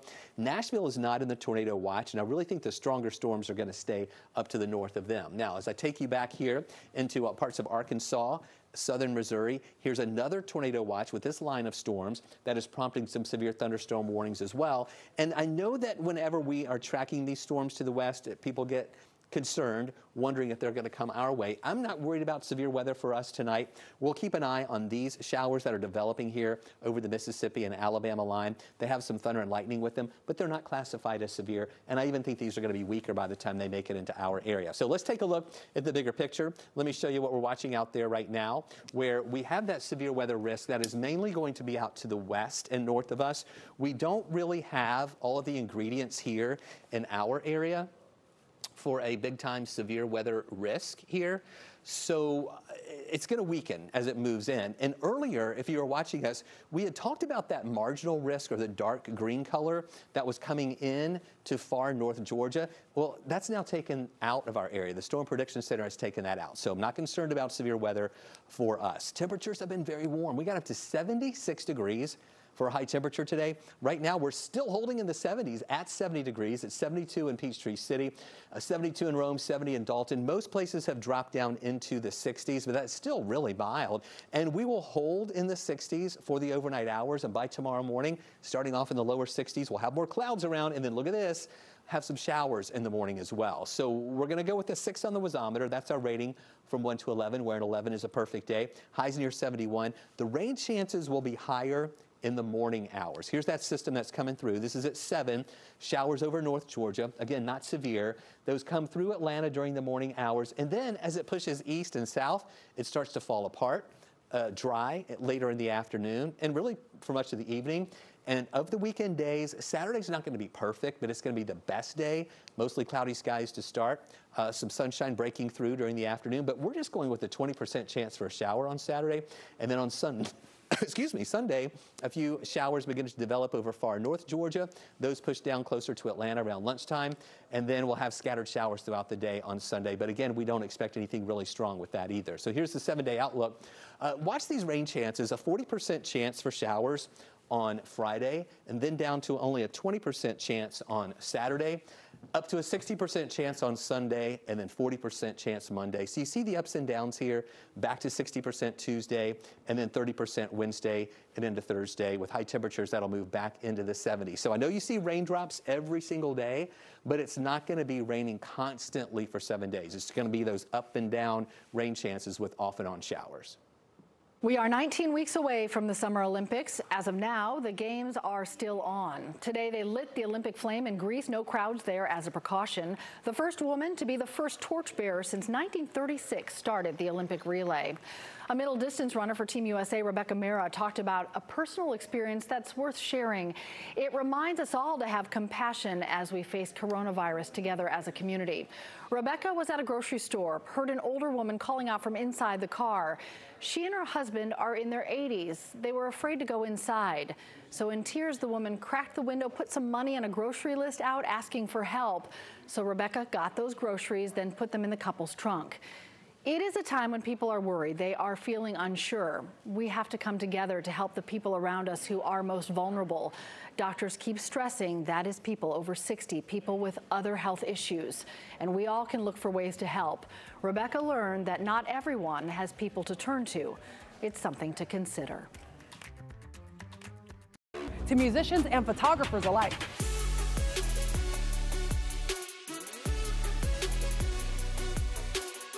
You can find it on the East Side Trail under Virginia Avenue.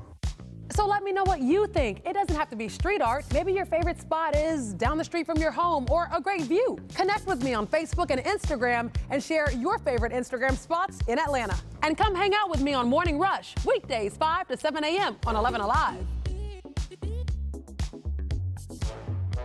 Televised newscast not enough for you? Get even more at 11 Alive's YouTube channel, where you'll find uncut interviews, extended body cam footage, live streams of Atlanta's biggest trials, and more. Subscribe to 11 Alive today.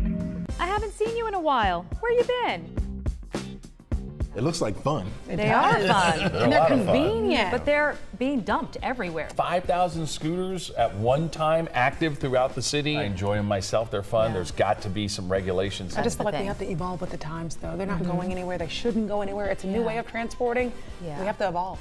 I'm going to be looking for you next time, so use the hashtag and let us know you're hanging out with us. Morning Rush, weekdays, 5 to 7 a.m. You see them all day, every day. Headlines, stats, and numbers, but without context, they're just clickbait. So let's add some perspective. The three most interesting numbers of the day, what they mean, and why they're important. News and numbers on Up Late. What's the best part about Your voice, it is never too loud or too much. Your voice has the power to tell it like it is. bringing us together to act? Together, our voices grow. Together, we come alive, amplifying voices and breaking down barriers to change the story and shape the future. Together, we are unstoppable. Together, we are where Atlanta speaks. Remember the old days, the old cliffhangers when we used to watch shows and they cliffhangers. would, you know, they would wait the next week. You're, oh, what's going to happen to the six million dollar man? He was hanging with his one bionic arm. Morning Rush, weekdays 5 to 7 a.m. Only on 11 Alive. Atlanta. Almost 6 million people call the Metro home. But what makes this place so great? I'm 11 Live's Chesley McNeil. I'm going to give you three reasons why Atlanta is the best city in America. Well, it has been the most surreal 24 hours of sports that I have ever seen. The entire sports world has been turned upside down because of the coronavirus. The NBA, Major League Baseball, NHL, and Major League Soccer have all suspended their seasons. March Madness has been canceled. There won't be a Frozen Four and no College World Series. As of right now, NASCAR is having its next two races, including the race this weekend at Atlanta Motor Speedway, without fans. The PGA Tour has banned fans as well. Now, it's worth noting we haven't heard back yet from Augusta National Golf Club regarding the Masters. Now, I'm not going to lie, I'm sad. I love sports. But what's going on in the world right now is serious, and suspending play is the right thing to do. If giving up sports for a little while will help get the virus spread under control, then I'm all for it, and you should be too. No game or tournament is worth potentially spreading this virus. So, no live sports for a while. You could watch movies, you could read a book, or hear me out, you could spend some time with your family It's a novel concept, I know. We will continue to have sports segments on this station, and I'm not going to lie to you, I don't really know what that's going to look like, but we'll have it. And we'll dedicate that time to continue to show you the power of sports. It's a power that becomes even more apparent when times are tough and things seem uncertain. But even without games, there's still plenty to talk about, like where will Tom Brady land? Do the Braves have a World, World Series caliber roster?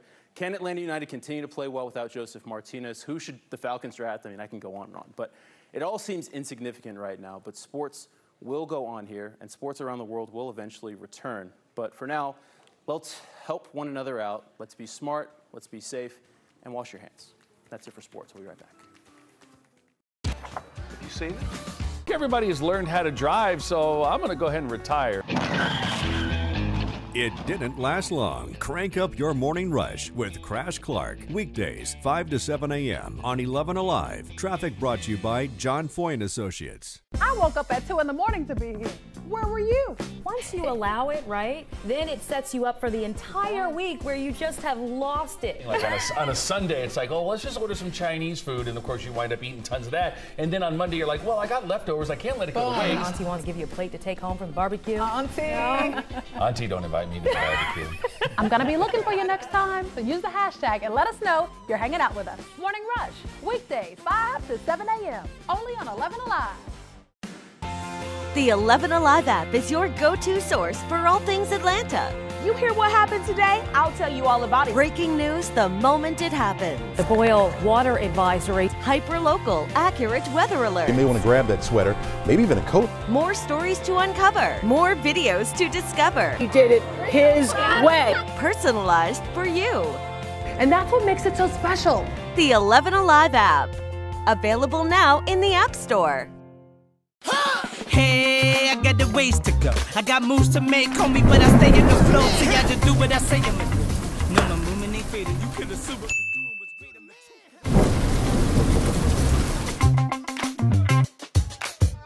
Oh, and so I was saying, there is always something filming here in Atlanta, from movies to TV shows, you name it. And so the A scene keeps up with all of it for you. Casting calls, which big celebrities are in town, what's filming, and if it's in your neighborhood. It's like an inside scoop. Oh, nice. But you know, I really wish you would have told us we were filming this today. Ooh, did I not text you? All right. Ah, it's in my drafts. That's my bad.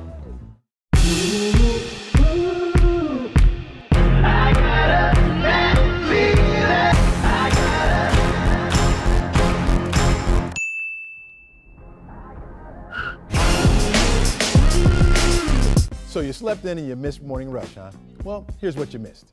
In my experience, good guys do finish last. Oh, Stop. I consider myself a nice guy. I've got the most beautiful woman in the world in my eyes. You're a nice guy too, Yeah. Jess. I'm saying in my experience, when growing up, good guys didn't Oh, finish last. Somebody broke his heart somewhere along the line.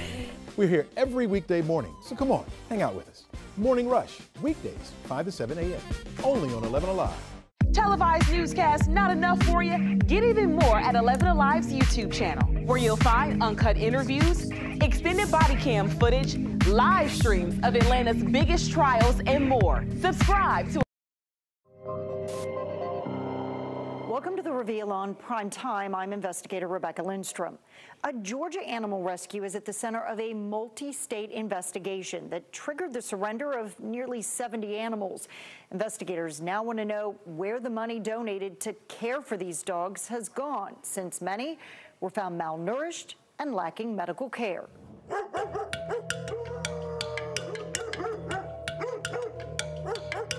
brown terrier mix was certainly in need of rescue after being hit by a car in South Georgia. He had bilateral femur fractures, a fractured pelvis, a ruptured bladder. The animal rescue Dragon Paws rushed to his aid, asking for donations to pay for his care.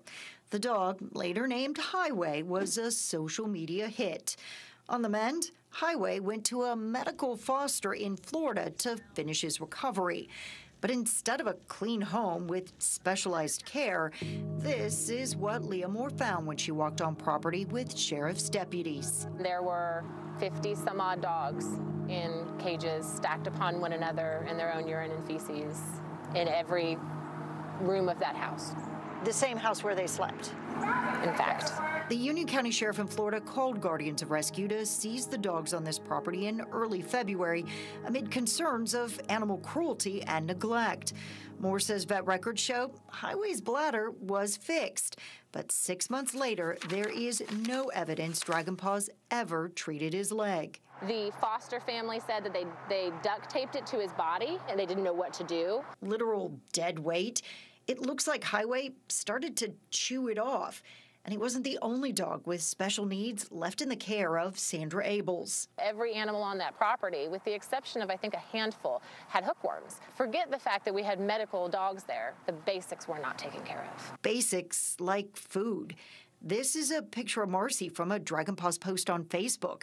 But this is how law enforcement found her. We don't want to talk to anybody about anything going on. The reveal traveled to Florida to ask Sandra Abels and her husband about the dogs. We're not going to make any comment. Okay. Have, have you been taking care of the dogs? we ask you to please leave? All right. Neighbors say the dirt road leading to their house had just days prior been flanked with those no trespassing signs. What was their justification for not getting them help? They were just the fosters and not the people who manage the finances that allow for them to go get veterinarian care and have it paid for. And when they pointed the finger at somebody who was the financial mechanism, where did they point that finger?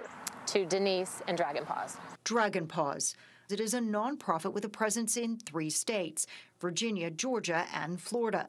Terry Nicole is listed as president, but the Georgia license is held by his wife, Denise. It is unclear if they knew the Abels had other dogs on their property or lacked the resources to give them proper care. This one is going to be a very complex case. Sheriff Brad Whitehead says this is the kind of animal neglect he will not tolerate in his county. They're helpless. Animals are helpless. That's uh, ridiculous that um, if you can't take care of them, you don't need to have them. Investigators are now looking into how much Dragon Paws raised through social media like Facebook and where that money went.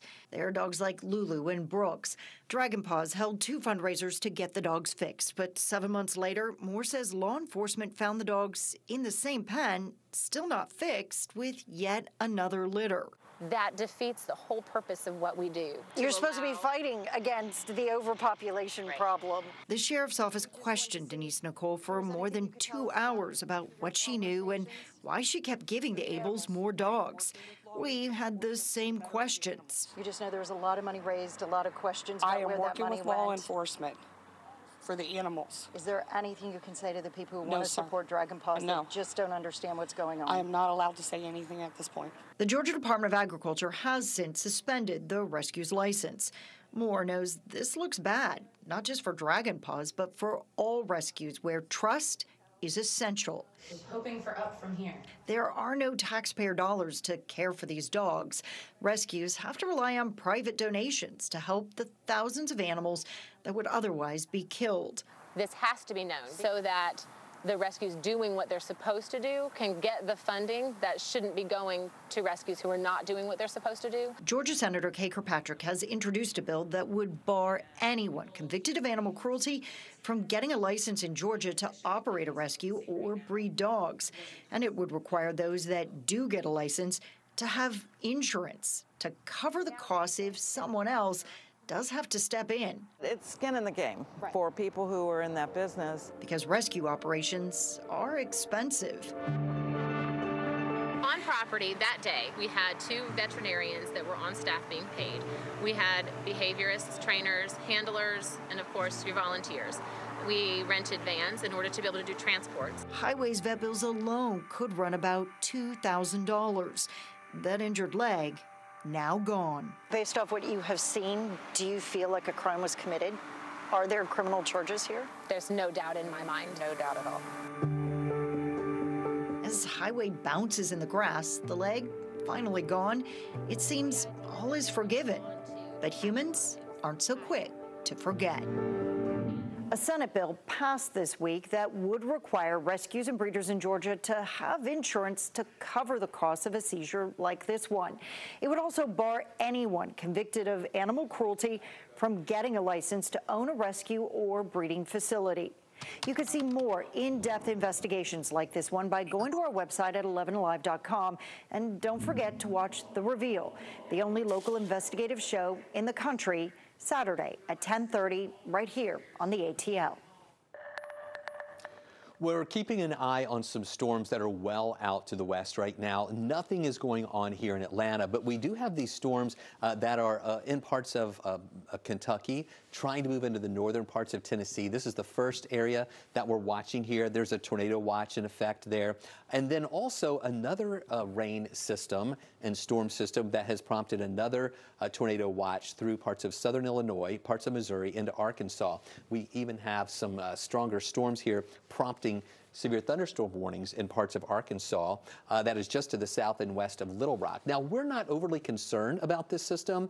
It is going to be moving closer to us. However, it's going to be weakening as it moves in. It's going to be coming this way, but it's going to be a lot weaker. There, it, we are watching right here uh, some areas of thunder and lightning coming into northwestern parts of uh, Alabama.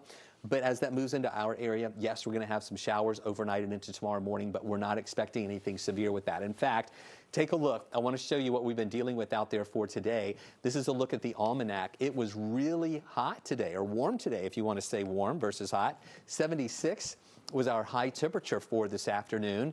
Uh, the average high for this time of year is 64, so we were about 12 degrees above the average today, but still not a record. The record for today's date, 83 degrees. Our low this morning also mild. It should be around 43 at this time of year. And we're going to continue with this mild air, but it's also uh, very moist air, a lot of moisture content in the air. Today we picked up only about 4 hundredths of an inch of rain. Others picked up a little bit more, but look at this surplus.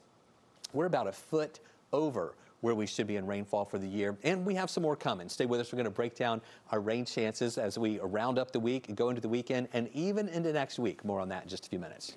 Here are some of the other stories we're following in our speed feed tonight. Police have made an arrest in the murder of a convenience store owner.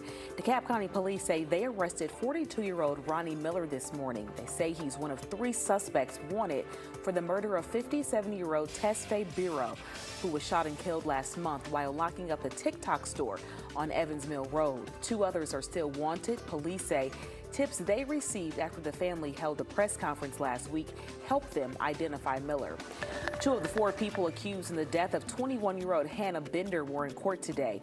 19-year-old Dylan Reed and 18-year-old Isaac Huff pleaded not guilty at their arraignment today. They, along with 24-year-old Austin Stryker, are accused of killing Bender. Stryker and 78-year-old Jerry Harper waived their appearances. Harper is accused of helping cover up the murder. A Coweta County Sheriff investigator now warning people about a kidnapping scam. They say someone is getting a call that their child is being held in the back of a van and they've got to pay to get them back. Victims can even hear their child or a child screaming for help in the background. They say the best thing to do is to hang up the phone, but if you talk to the caller, don't say your loved one's name. Ask to speak to a family member directly and ask questions only your child would know how to answer, like the name of the family pet. Also, contact your child and ask them to call you from their cell phone to make sure that they are A-OK. As the coronavirus spreads, it's so important to maintain your overall health. Next, medical correspondent Dr. Sujatha Reddy has tips on how you can boost your immune system.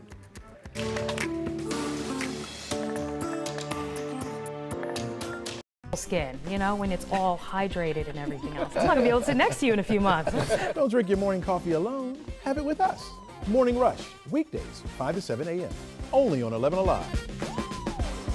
Some mornings, what you want isn't what you have time for. And that's why there's the Rush Block, the biggest news of the day in five minutes or less. Quick and convenient for all those hectic mornings. Catch the Rush Block on the Morning Rush. Everybody has learned how to drive, so I'm going to go ahead and retire. It didn't last long. Crank up your morning rush with Crash Clark. Weekdays, 5 to 7 a.m. on 11 Alive. Traffic brought to you by John Foy Associates. Atlanta is filled with great photo spots. And of course, I would know because this is my hometown. I'm 11 Alive's Francesca Amiker, and I'm about to show you my picks for the three best Instagram spots in Atlanta. The OutKast mural is one of Atlanta's newest hotspots. Created by the artist Jekk, people flock from all over the world just to get a shot of these two hip hop legends.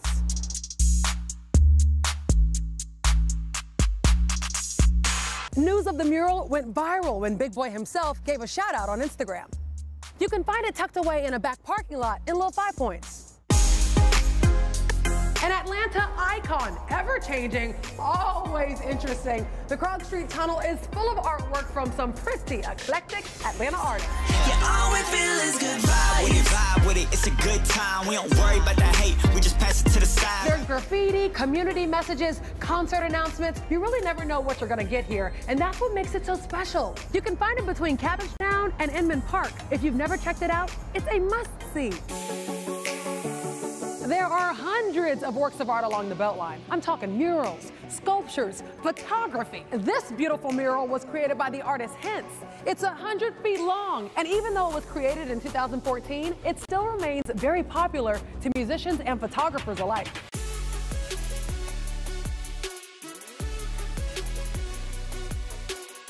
You can find it on the East Side Trail under Virginia Avenue. So let me know what you think. It doesn't have to be street art. Maybe your favorite spot is down the street from your home or a great view. Connect with me on Facebook and Instagram and share your favorite Instagram spots in Atlanta. And come hang out with me on Morning Rush, weekdays 5 to 7 a.m. on 11 Alive. Televised newscasts not enough for you? Get even more at 11 Alive's YouTube channel, where you'll find uncut interviews, extended body cam footage, live streams of Atlanta's biggest trials, and more. Subscribe to 11 Alive today. I haven't seen you in a while. Where you been? It looks like fun. They are fun. They're and they're lot fun. convenient, but they're being dumped everywhere. 5,000 scooters at one time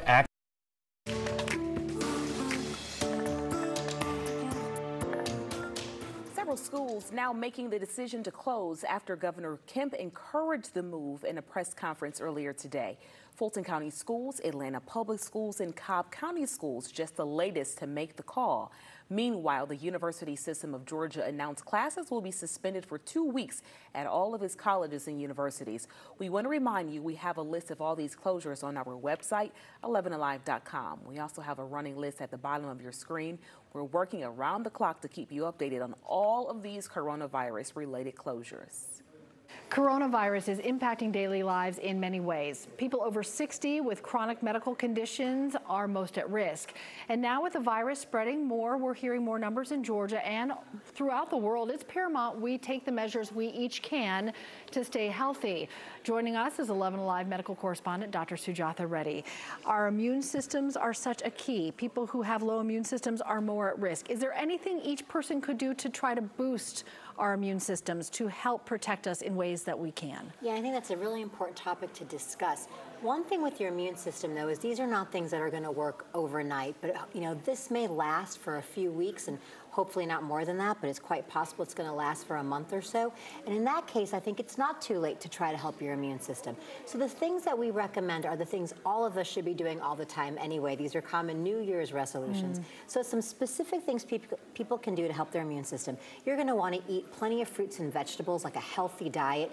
Get enough sleep. That's probably one of the most important things we can all do. You know, at least seven hours as an adult, maybe even more.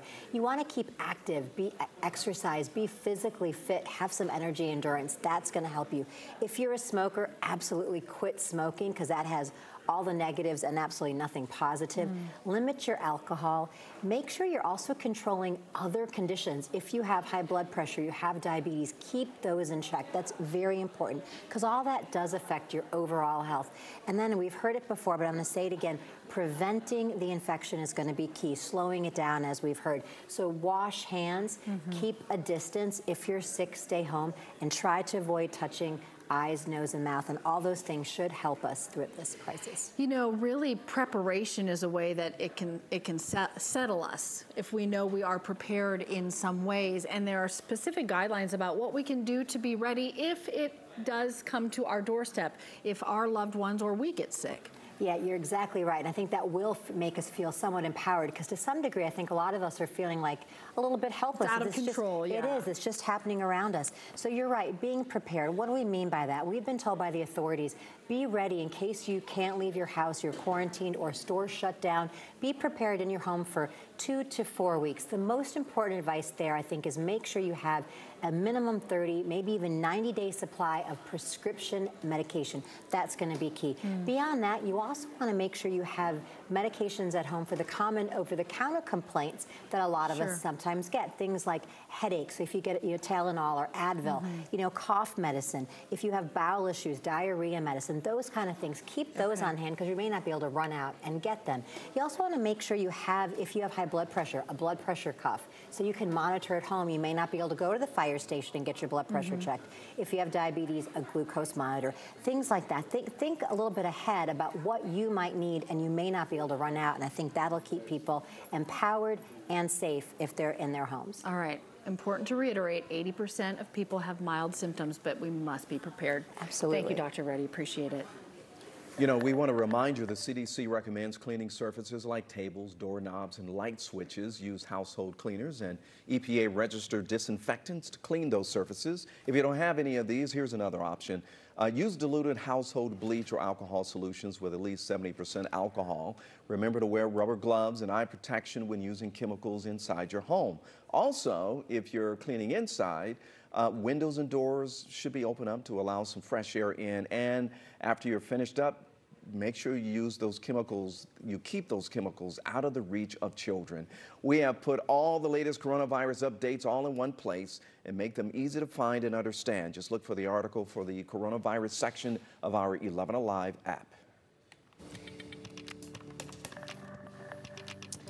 We had a pretty nice day out there today. We mentioned earlier that high temperature that made it up to 76 degrees. Uh, not a lot of sun. We had clouds, but also not a lot of rain. In fact, we're not seeing rain out there right now. We're watching this next system, though, that's moving our way, and it's prompting a tornado watch in the southern parts of Kentucky and northern Tennessee, also back into Arkansas, the southeastern parts of Missouri as well. And then also keeping an eye on this. These are some showers and a few thunderstorms that have developed coming out of Mississippi, moving into northwest Alabama. They have some thunder and lightning with them, but they're not severe. As this moves closer to Georgia, they will weaken a little bit. We'll still have some showers here, mainly the uh, overnight hours into early in the morning.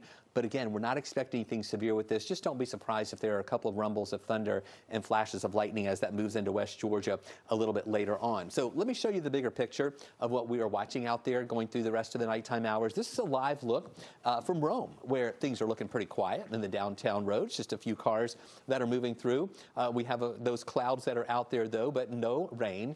The clouds that are there are not producing any showers. Take a look at these temperatures that we had out there today. It was very mild to start this morning in the 60s. We should start off in the mornings this time of year in the 40s. So 60s was very mild to start. We held in the 60s till about noontime, and then look how these temperatures jumped. In fact, we got up to 76 degrees this afternoon. That was at 5 o'clock. Uh, and that was our high temperature. And we've been holding in those 70s ever since then through this hour. And we'll be dropping down into the 60s for the next hour. In fact, you can see what we're watching 70 here in town right now, 72 in Peachtree City. We have lower 70s in Rome and in Dalton. Everywhere else, pretty much in the 60s, but still, that's very mild. And it's going to stay mild as we go through the rest of the overnight hours. Now, we're going to be dealing with scattered showers. And when I show you the seven day forecast in just a few minutes, it's going to have a raindrop on just about every single day. However, I want you to understand it's not going to be a constant rain every single day. It's just going to be scattered showers.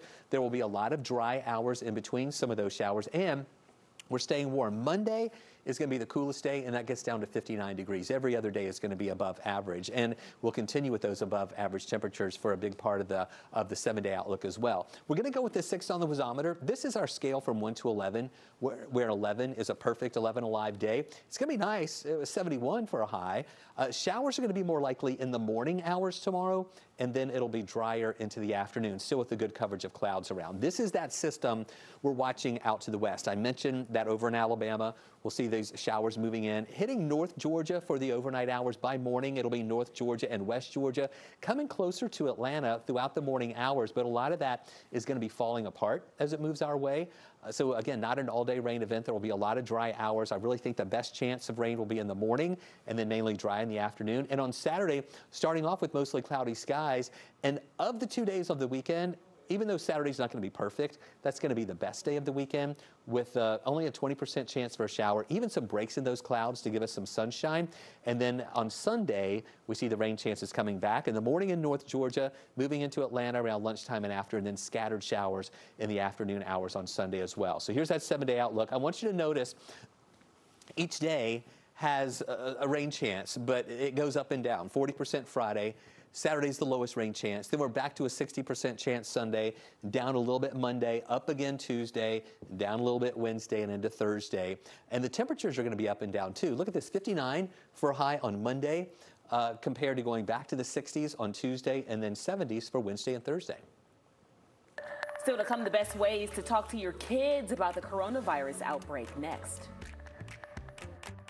To musicians and photographers alike.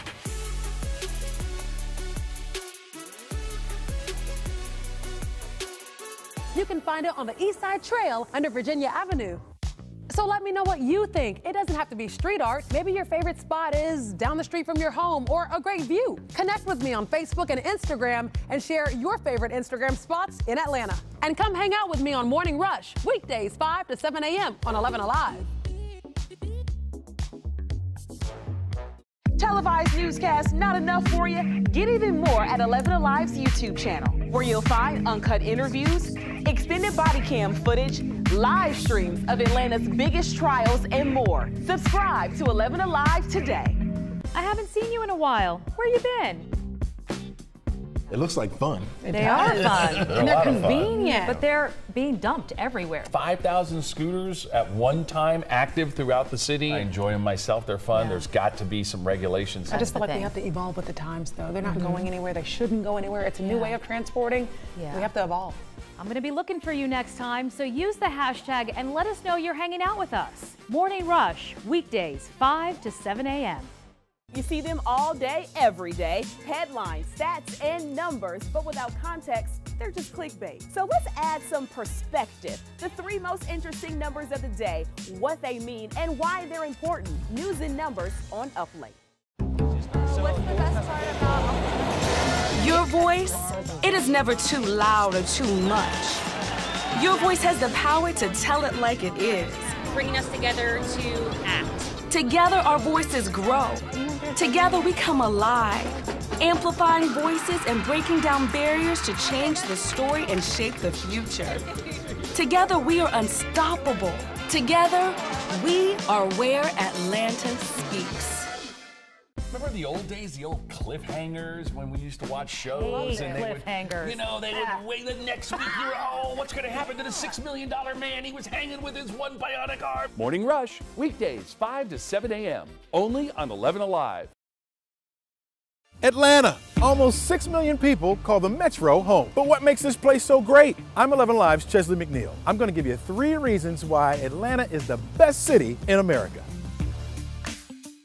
Come on, man. It's the heart of the South. And it's one of the most diverse cities around. People from all walks of life have come here and made it home. From different backgrounds, languages, and religions. And who can forget about the food? They all make this a cultural melting pot, full of great people and Southern hospitality.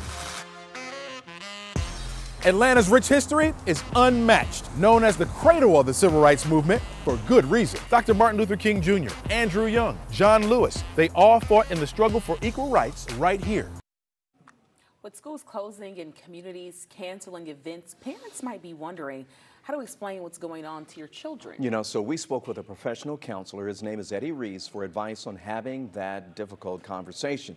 He says the number one rule here is to listen to your child first. Every child is different, and age, of course, plays a role in this. So hearing what they have to say will help you see where they are, and you might start asking the right questions, such as, What are you hearing about this? That gives you a chance to address any misinformation or calm any fears. Reese also says you shouldn't share too much information. He says trusted adults should process everything first before talking to their kids. check your own uh, feelings and thoughts about it before you go talk to your children. If you feel terrified and you go, Oh, I've got to talk to my kids about it, they're going to pick up that you're terrified. So if they're not, they're going to then be terrified.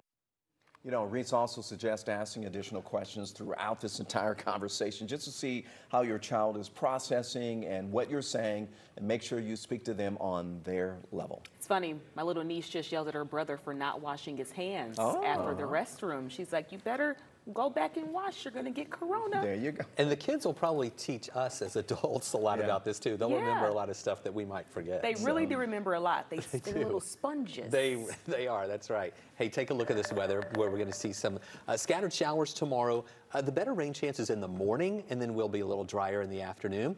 And then Saturday, only a 20% chance for a shower. And then the rain chances back up Sunday into next week, kind of up and down rain chances, as well as temperatures up and down too. Monday at 59 is the coolest, and then in the lower 70s for the middle of next week. All right, thanks, Chris. Stick around. We have more news and the latest on coronavirus coming up in prime time at 10. Morning Rush, weekday, 5 to 7 a.m. Only on 11 Alive. The 11 Alive app is your go to source for all things Atlanta. You hear what happened today? I'll tell you all about it. Breaking news the moment it happens. The boil water advisory. Hyper local, accurate weather alert. You may want to grab that sweater, maybe even a coat. More stories to uncover, more videos to discover. He did it his way. Personalized for you. And that's what makes it so special. The 11 Alive app. Available now in the App Store. Hey, I got the ways to go. I got moves to make, homie, but I stay in the flow. So y'all just do what I say I'ma do. No, no ain't. You could assume what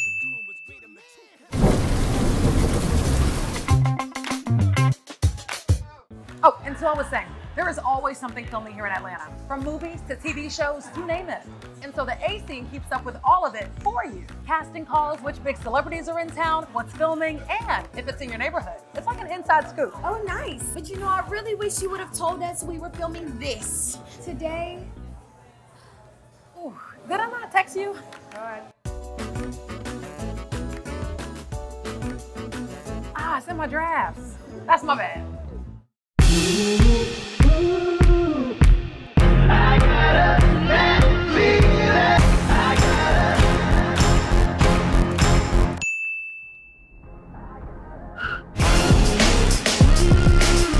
So you slept in and you missed morning rush, huh?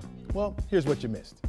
In my experience, good guys do finish last. Mm. I consider myself a nice guy. I've got the most beautiful woman in the world in my eyes. You're a nice guy too, Yeah. I'm saying in my experience, when growing up, good guys didn't Oh, finish last. Somebody broke his heart somewhere along the line. We're here every weekday morning, so come on, hang out with us. Morning Rush, weekdays, 5 to 7 a.m., only on 11 Alive. Televised newscast not enough for you? Get even more at 11 Alive's YouTube channel, where you'll find uncut interviews, extended body cam footage, live streams of Atlanta's biggest trials, and more. Subscribe to 11 Alive today. You didn't get my text? The whole crew got together for coffee this morning. I'm, I'm learning the taste of water because I'm, I'm sugary. Oh, okay. yeah, What right, right. about And that? well, reward would be Slimming down. Okay. Yes, Yes. yeah, okay. yeah, a little water in my cup. And and beautiful skin. Well, you know, even too. more beautiful skin. You know, when it's all hydrated and everything else. I'm not gonna be able to sit next to you in a few months. Don't drink your morning coffee alone. Have it with us. Morning Rush, weekdays, 5 to 7 a.m., only on 11 Alive. Some mornings, what you want isn't what you have time for. And that's why there's the Rush Block, the biggest news of the day in five minutes or less. Quick and convenient for all those hectic mornings. Catch the Rush Block on the Morning Rush. Everybody has learned how to drive, so I'm going to go ahead and retire.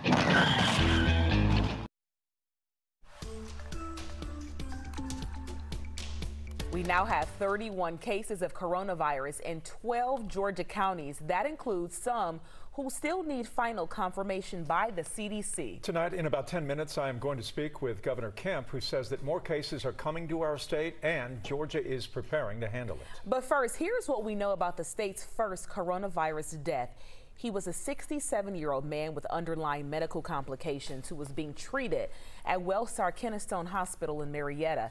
And his age and his medical condition put him in the group of people who were at a higher risk from COVID 19. Here's John Sherrick. In the U.S. as of tonight, 40 coronavirus deaths in six states, including one death now in Georgia. Almost all of the patients who died older than 60 with underlying medical conditions. It could be something like asthma, it could be diabetes or high blood pressure, but anything like a heart condition. 11 Alive medical correspondent Dr. Sujatha Reddy says most people in their 70s and older have underlying medical conditions based on current COVID 19 research. The good news here is we know over 80% of people get mild symptoms where they don't even need to be hospitalized. So I think if you're not in that elderly population, you can breathe a little bit of a sigh of relief. But I think as a community, as a society, we have to do what we can do, even as we're not at risk, to protect the people that are. As it is, researchers say the numbers of deaths from coronavirus could depend largely on how many older people with underlying medical conditions end up exposed and infected. More than 250 cruise ship passengers, including 34 Georgians, wrapping up their second day under quarantine at Dobbins Air Force Base. They were flown to Cobb County after the coronavirus hit the Grand Princess cruise ship. Hope Ford spoke to one woman who says emotions are running high. On day two at Dobbins, people started raising concerns. One person tells us a meeting between passengers and officials with the Department of Health and Human Services got heated Thursday morning. There was a lot of angry people a whole lot of angry people. Teresa Duncan Johnson arrived at Dobbins Wednesday. She's been updating her social media with videos and pictures. She describes the base as hotel like, except for the fencing surrounding the quarantine zone. They're free to move around as long as they wear masks, but anxiety is settling in. Johnson says they've yet to be tested for the coronavirus. While we were on the ship, that everybody would be tested before we got off the ship. We thought, okay, when we get to Dobbins, they'll test us. As of today, Nobody's been tested. Outside of testing, Johnson says several people are upset over being forced to stay. They would take measures to prevent you from leaving. That would probably be very unpleasant. While Johnson is fine with the idea of staying the full 14 days, she says others feel like they're being treated like criminals. And they're questioning why are we not allowed to go go home then and self quarantine. On top of those concerns, Johnson tells me her husband is running low on insulin and they're struggling to find out how or when they'll manage to get more. Stock market had its biggest drop since the Black Monday crash of 1987.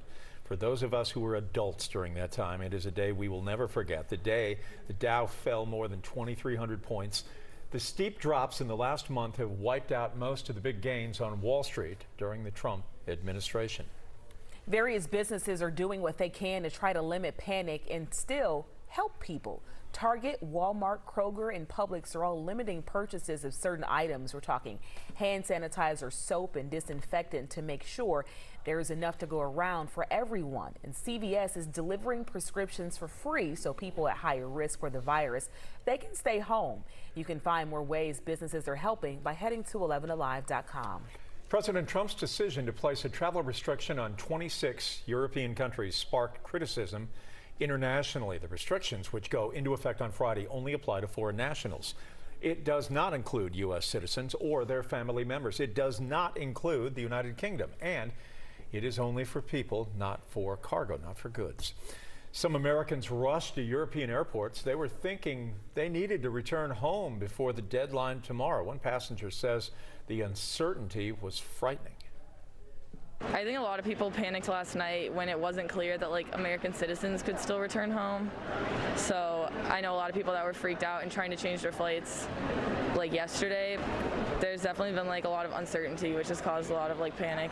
As for the restrictions, they are expected to last for a month, about 30 days. Doctors keep warning us to take precautions to make sure people stay safe during this pandemic. But following those precautions, like canceling major events, can make people even more nervous. Caitlin Ross explains why this type of social distancing is necessary. There's a trending hashtag on Twitter right now cancel everything. And that's kind of how it feels. Every few minutes, we hear of another big event conference, concert, charity gala, all being canceled. It feels like a really big deal. It's scary and unfamiliar, but people who study this actually say it's the right call. The idea is to flatten the curve, stop the spread of the coronavirus before it overwhelms the healthcare system. This graphic from the CDC illustrates how this would work well. If we did nothing right now, carried on exactly as normal, we would end up here in this dark red part. The healthcare system would be overrun, above max capacity, and unable to care for people who are really sick. By slowing down the spread of the virus, we stay here in the blue, where people still get sick, but it's at a level where the doctors and hospitals can still manage it and treat people who need it. You slow it down by washing your hands, not touching your face, and practicing social distancing. Monday was the first time I heard that term. So, what does it mean?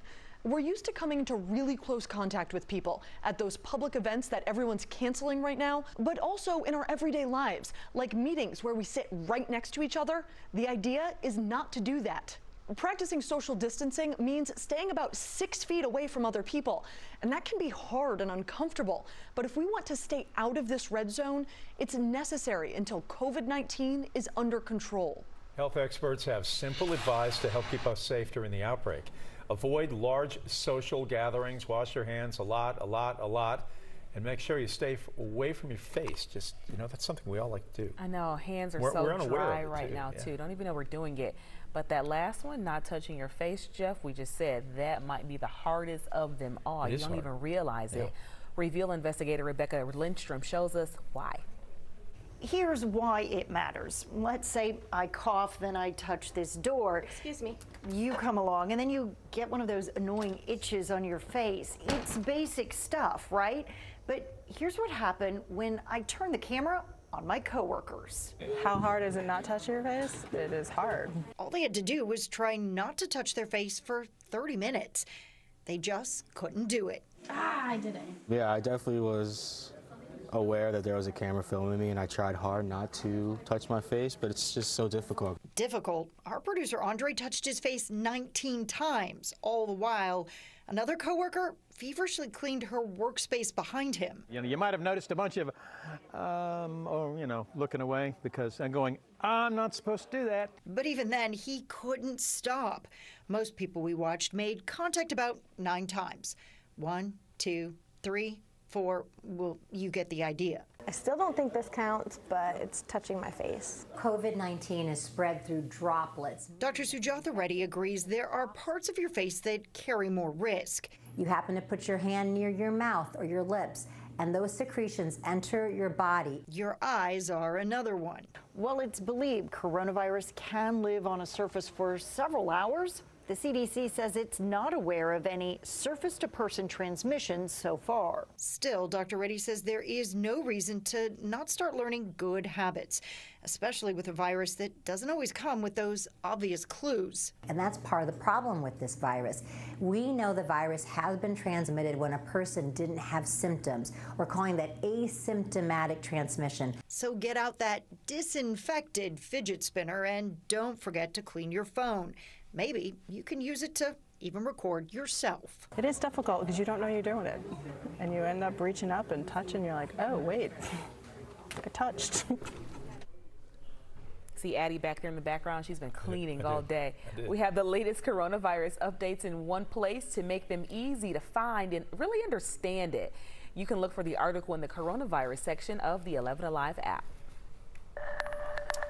Dry weather here right now, but we are tracking some showers and storms that have prompted tornado watches to the north and to the west. Stay with us. We'll let you know if this system is going to make it our way.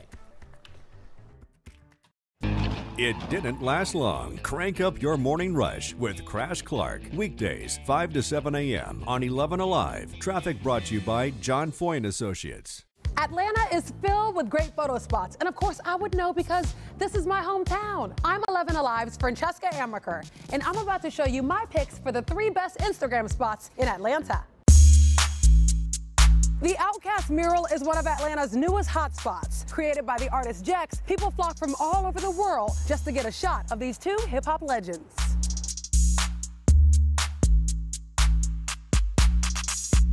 News of the mural went viral when Big Boi himself gave a shout out on Instagram. You can find it tucked away in a back parking lot in Little Five Points. An Atlanta icon, ever changing, always interesting. The Krog Street Tunnel is full of artwork from some pretty eclectic Atlanta artists. Yeah, all we feel is good vibes. When you vibe with it, it's a good time. We don't worry about the hate, we just pass it to the side. There's graffiti, community messages, concert announcements. You really never know what you're gonna get here, and that's what makes it so special. You can find it between Cabbagetown and Inman Park. If you've never checked it out, it's a must-see. There are hundreds of works of art along the Beltline. I'm talking murals, sculptures, photography. This beautiful mural was created by the artist Hense. It's 100 feet long, and even though it was created in 2014, it still remains very popular to musicians and photographers alike.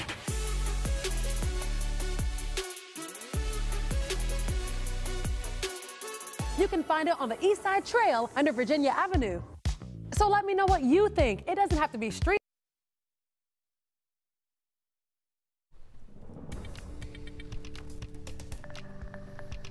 Dry weather conditions out there tonight, and it's still very mild. We have temperatures that are generally holding in the upper 60s and lower 70s at this hour.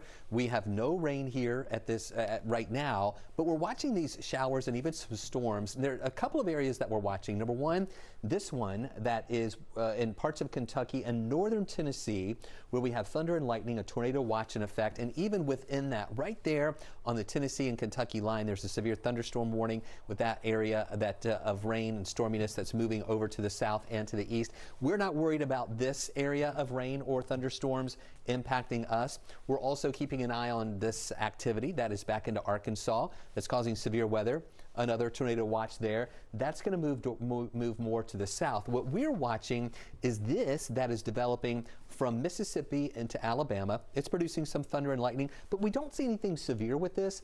That's going to be swinging into our area tonight overnight really and toward tomorrow morning with some showers, maybe some rumbles of thunder and flashes of lightning, but we're not expecting anything severe out of that for North Georgia or Metro Atlanta. In fact, let me break down for you what we're watching. I'm going to take you out there live first, and you can see what we've got going on in the Rome area. Dry roads, just a few clouds around, no rain, but some showers expected there uh, during the overnight and toward tomorrow morning. The severe weather threat is mainly in those areas that where we just showed you a few minutes ago where we have those tornado watches that are already in effect.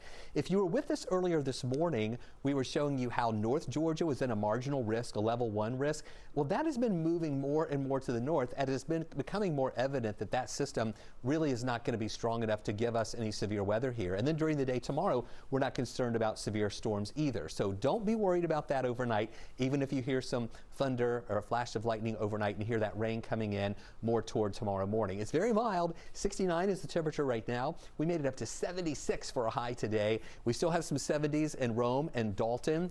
Uh, those are the only places with those 70s right now. It's close to it uh, down in the Newnan area in the upper 60s. We'll be holding in the 60s for the overnight hours and in, into tomorrow morning. And it's going to be the morning hours when we see some of those showers that make it here to the Atlanta area. We're just going to go with the 6 on the wazometer. Highs near 71 degrees. Here's the timeline of what we're watching. And we're dry out there now. Here come those showers that will move through North Georgia early in the morning and then on down toward metro Atlanta before they break apart. And then I think for the rest of the day, Friday, we're going to be dry. And Saturday looks like the driest day of the weekend with only a 20% chance for a shower. And then those rain chances continuing 60% to 40, back to 60, and then 30 to 40 again once we get toward the end of the week. Let's take a look at your weather wow moment. This is taken uh, yesterday by one of our 11 Alive community storm trackers, Doc, um, a Guy Docksteider. He sent us uh, the picture of this rainbow that he said his daughter took in the uh, Paulding County area last night or yesterday afternoon. We'd love for you to be a part of our Weather Wow moment, and the best way to do that is to share those pictures with us on the 11 Alive Storm Trackers page. Just search for that on Facebook and ask to become a member of this exclusive weather community. All right, Chris, thank you very much. New tonight, we are joined live right now from downtown Atlanta, the state capitol, from his office. Governor Kemp is with us. Governor, thanks a lot for joining us. We know you've had a very long day. We appreciate it. As, as you get ready to go home tonight, Good evening. what keeps you up at night? What about this coronavirus as it continues to escalate not only around the country but in the state as well? What, what will keep you up? Well, I think first of all, I tell people to remain calm. Uh, the risk for most Georgians remains low. Uh, the concern for me is as we continue to see this ramp up, um, it, it could put a strain on our healthcare facilities. So that's the reason today we rolled out the additional subcommittees from the uh, coronavirus task force dealing with the homeless, uh, homelessness, and, and or the homeless and the displaced, and then also on really the preparedness when you think about logistics and supplies. So we're being very forward thinking there. I hope we never get to that day. Uh, but you can imagine if our healthcare facilities start filling up, people are going to want us to have plans on where the overflow is going to go, and those are the kind of things that we're thinking about. We got great teams that are dealing with what's happening today. Uh, but we've had a lot of people in the last couple of weeks, and with our subcommittees that we're rolling out today, we'll have a lot more people that'll be focused on what's going to be going on in a week, two weeks, and a month. Uh, depending on how long this goes. We had a story about 10 minutes earlier in this broadcast. Our Hope Ford was reporting from Dobbins Air Base tonight about these three dozen cruise ship passengers, uh, Georgians who believed that they would be released to their homes. That has not happened. The federal government, the HHS, has stepped in to say no. They feel they're under house arrest. Will the state do anything to try and free these people so that they can go home and begin their quarantine there? Well, we're certainly looking into that. That's an issue that it was our understanding when this the initial talks were going on that that would be the case. Um, I, I, haven't heard from them as to exactly what is going on now, but we're glad to look into that and address that issue uh, if we're, you know, have the ability to do that. I certainly share their concern, but also, I also know that the federal government perhaps will have reasons for that as well, and would love to, you know, hear from them on that issue. I've received uh, a number of emails tonight from contractors, small business owners who wanted me to ask you about the possibility of relief for these business people that are greatly impacted by what is going on right now. Do you down the road see any kind of stimulus uh, or package system to try and help some of these people? Well, I think certainly the best place for that, in my opinion, is at the federal level, but I can assure you that with uh, the Lieutenant Governor Duncan and Speaker Ralston standing with me today, we're going to do everything that we can to keep our economy strong in our state. Obviously, this is going to have a big impact when you're canceling things like the Final Four, uh, the start of the Braves season, you know, NASCAR races with no fans and, and uh, no NBA games and other things that we've seen happening. Uh, but we're resilient people. We've been through tough times like this before. Uh, part of our economic um, subcommittee, if you will, from the task force today, that's going to be part of their job is to see what kind of ideas we can have so that we can, can keep as much of the economy rolling uh, during this tough situation that we're in, but also look to see how we can make it and have it come roaring back, which I know that it will do. An unprecedented move today. The state legislature has wrapped things up. How does that impact government? What, what does that mean by them closing shop early? How does that impact what you're trying to accomplish? Well, I think I think Georgians should be uh, very proud of the steps that the legislature took today. Uh, we are putting them first. Um, basically, we're going to get through with our work tonight. Uh, they'll gavel in with limited staff tomorrow to do first readings on bills and legislation to keep the process moving, moving, and then they will suspend the session. So it doesn't mean it's over.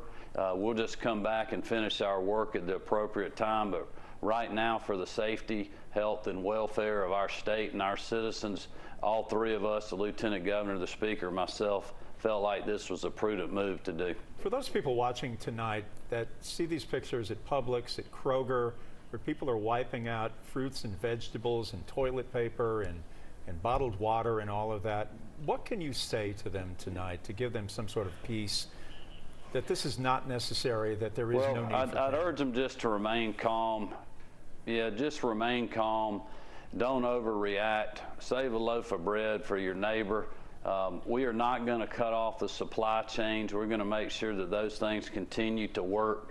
Uh, this is this is not going to be a, a, two or a three day snowstorm. You know, we're going to be dealing with this for weeks, perhaps longer.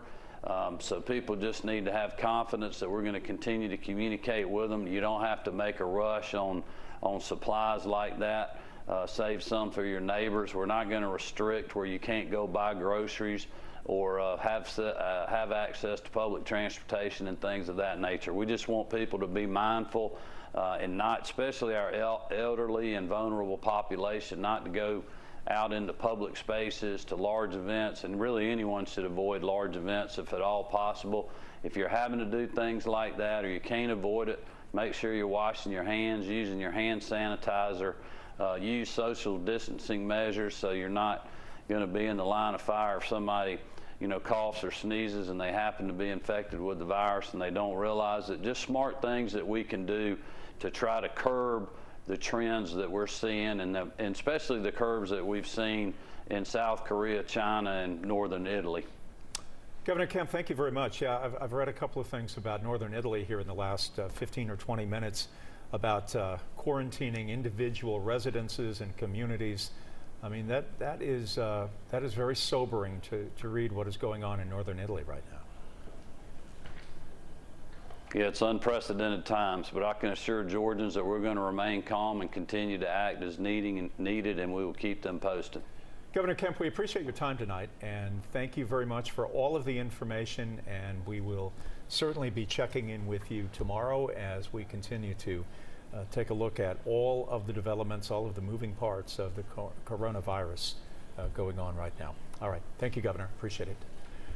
You can go to 11alive.com for the very latest information on the virus and all of the information that you need to know. Again, 11alive.com is your place to go. We'll take a break. We continue right after this. And numbers, but without context, they're just clickbait. So let's add some perspective. The three most interesting numbers of the day, what they mean, and why they're important. News and numbers on Up Late. What's the best part about Your voice, it is never too loud or too much. Your voice has the power to tell it like it is. Bringing us together to act. Together, our voices grow.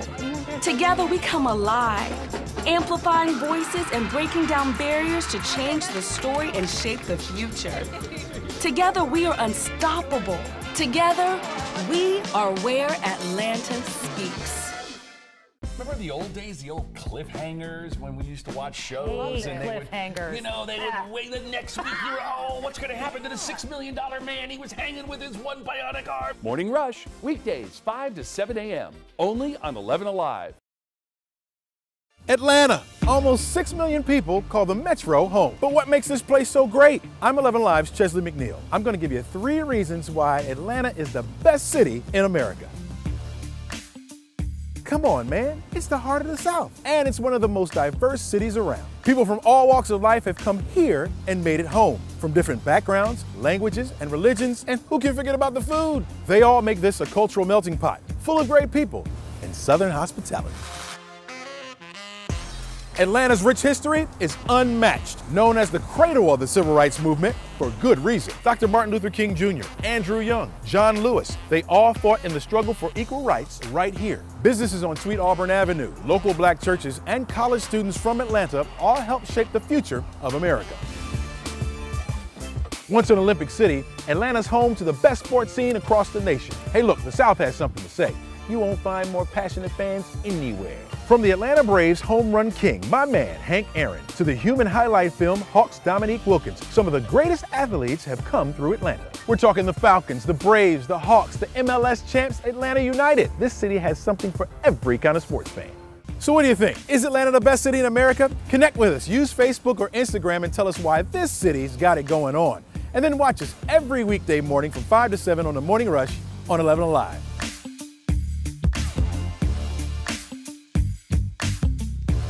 Televised newscast not enough for you? Get even more at 11 Alive's YouTube channel, where you'll find uncut. All right, folks, you know what time it is. You see your screen. It is time for Thursday's edition of the A Scene, and we are kicking off with a recap of Film Day at the Capitol that went down yesterday. So we actually got a chance to speak firsthand from officials about how the coronavirus is affecting production here. And on top of celebrating Georgia Film Day at the Capitol, multiple leaders and professionals touted the economic benefit the TV and film industry have had on the state. And we also asked officials about the state's plan if the coronavirus interrupts Georgia productions. So far, an upcoming reality television competition series was impacted when scheduled filming during South by Southwest was canceled, and the Atlanta based production for the upcoming Disney Plus series, The Falcon and the Winter Soldier, was canceled as well due to the government in Prague closing schools and other institutions. Now, A Scene producer Ryan Dennis spoke with Bert Brantley, who is the CEO of the Georgia Department of Economic Development, and asked him about precautions being taken. Governor Kemp take a very proactive approach on really informing Georgians about what's happening and how the state is responding. Uh, and our, the film industry is no different than any other industry. They pay attention to those. Right now, it's business as usual. If you've ever been on a film set, they are very conscious about safety and health of all their workers. Uh, and so this is really something where we feel like they can continue to work. Uh, there's a usually closed set, so there's not big gatherings of people. And so this is an industry that can thrive yeah, and in the event that a TV and film production backs out amidst coronavirus concerns, companies will still be able to receive that Georgia tax credit incentive if their production has contributed more than $500,000 to the state. Who's ready to find the love of your life? Let's go! Come on! Okay, so how would you like to be one of the 16 singles invited to a beautiful island where experts have single handedly chosen you based on what they feel your chemistry will be with another possible suitor? Well, that's exactly what happens in the Lifetime show Married at First Sight, where couples have their honeymoon before their wedding. And guess what? The next season will be filming right here in Atlanta. You just need to be single, of course, not married. You need to live here in the city and be ready to take that leap of faith. Now, if you'd like to submit, the link is right there, smack dab on your screen. All I can say is good luck and tell them Francesca sent you. As the coronavirus spreads, it's important to maintain your overall health. Next, medical correspondent Dr. Sujatha Reddy has tips on how you can boost your immune system. So you slept in and you missed morning rush, huh? Well, here's what you missed. In my experience, good guys do finish last. Mm. I consider nice myself a nice guy. I've got the most beautiful woman in the world in my eyes. You're a nice guy too, Yeah. Jess. I'm saying in my experience, when growing up, good guys didn't Oh, finish last. Somebody broke his heart somewhere along the line. We're here every weekday morning, so come on, hang out with us. Morning Rush, weekdays, 5 to 7 a.m., only on 11 Alive. Televised newscast not enough for you? Get even more at 11 Alive's YouTube channel, where you'll find uncut interviews, extended body cam footage, live streams of Atlanta's biggest trials, and more. Subscribe to 11 Alive today. You didn't get my text? The whole crew got together for coffee this morning. I'm, I'm learning the taste of water because I'm, I'm sugary. Oh, okay. right, right. About I mean, that. well, reward would be Slimming down. Okay. Yes, Yes. yeah, okay. yeah, a little water in my cup. And and beautiful skin. Well, you know, even too. more beautiful skin. You know, when it's all hydrated and everything else. I'm not gonna be able to sit next to you in a few months. Don't drink your morning coffee alone. Have it with us. Morning Rush, weekdays, 5 to 7 a.m., only on 11 Alive. Some mornings, what you want isn't what you have time for. And that's why there's the Rush Block, the biggest news of the day in five minutes or less. Quick and convenient for all those hectic mornings. Catch the Rush Block on the Morning Rush. Everybody has learned how to drive, so I'm going to go ahead and retire. It didn't last long. Crank up your morning rush with Crash Clark. Weekdays, 5 to 7 a.m. on 11 Alive. Traffic brought to you by John Foy and Associates. Atlanta is filled with great photo spots. And of course, I would know because this is my hometown. I'm 11 Alive's Francesca Amiker, and I'm about to show you my picks for the three best Instagram spots in Atlanta. The OutKast mural is one of Atlanta's newest hotspots. Created by the artist Jekk, people flock from all over the world just to get a shot of these two hip hop legends.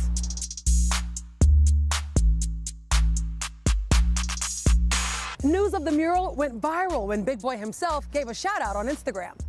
You can find it tucked away in a back parking lot in Little Five Points. An Atlanta icon, ever changing, always interesting. The Krog Street Tunnel is full of artwork from some pretty eclectic Atlanta artists.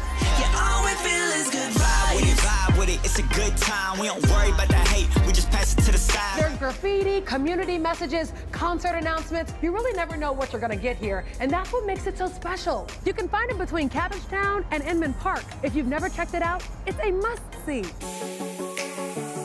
There are hundreds of works of art along the Beltline. I'm talking murals, sculptures, photography. This beautiful mural was created by the artist Hense. It's 100 feet long, and even though it was created in 2014, it still remains very popular to musicians and photographers alike.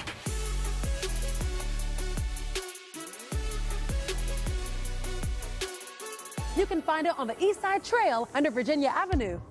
So let me know what you think. It doesn't have to be street art. Maybe your favorite spot is down the street from your home or a great view. Connect with me on Facebook and Instagram and share your favorite Instagram spots in Atlanta. And come hang out with me on Morning Rush, weekdays 5 to 7 a.m. on 11 Alive.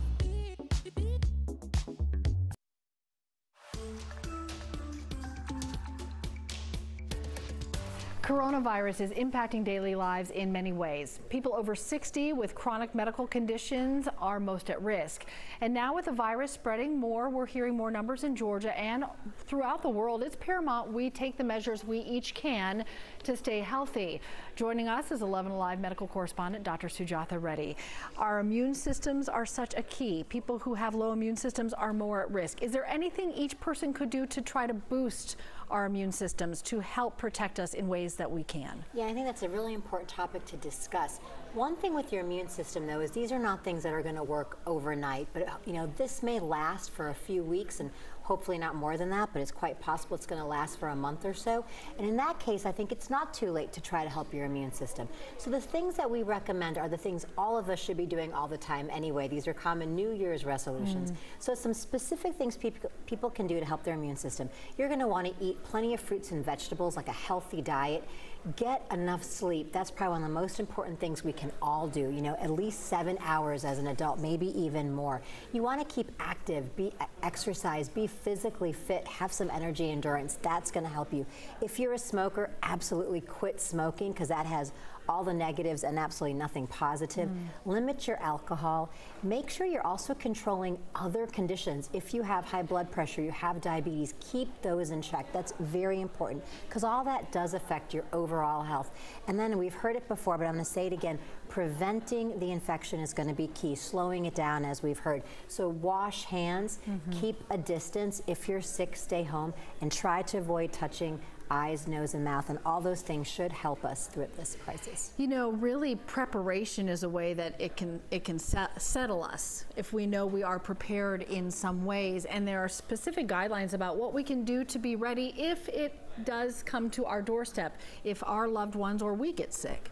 Yeah, you're exactly right. And I think that will f- make us feel somewhat empowered because to some degree, I think a lot of us are feeling like a little bit helpless. out of just- control, It yeah. is. It's just happening around us. So you're right. Being prepared. What do we mean by that? We've been told by the authorities, be ready in case you can't leave your house, you're quarantined or stores shut down.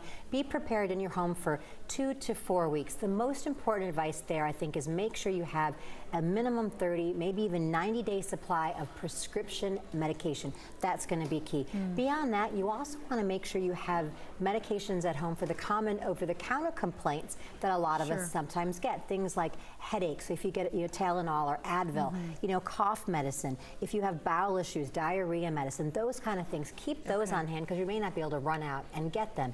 You also want to make sure you have, if you have high blood pressure, a blood pressure cuff so you can monitor at home. You may not be able to go to the fire station and get your blood pressure Mhm. checked. If you have diabetes, a glucose monitor, things like that. Think, think a little bit ahead about what you might need and you may not be able to run out. And I think that'll keep people empowered and safe if they're in their homes. All right. Important to reiterate 80% of people have mild symptoms, but we must be prepared. Absolutely. Thank you, Dr. Reddy. Appreciate it. With schools closing and communities canceling events, parents might be wondering how to explain what's going on to your children. Here's Jennifer Bellamy, who spoke with a professional counselor for advice on having that conversation. It's a challenge for parents with kids of all ages finding the right words to say. I spoke with Eddie Reese, a licensed professional counselor. He says the number one rule is to listen to your child first. Every child is different, and age plays a role in this, so hearing what they have to say will help you see where they are. You might start by asking, What have you heard about this? That will give you a chance to address any misinformation or calm any fears they might have.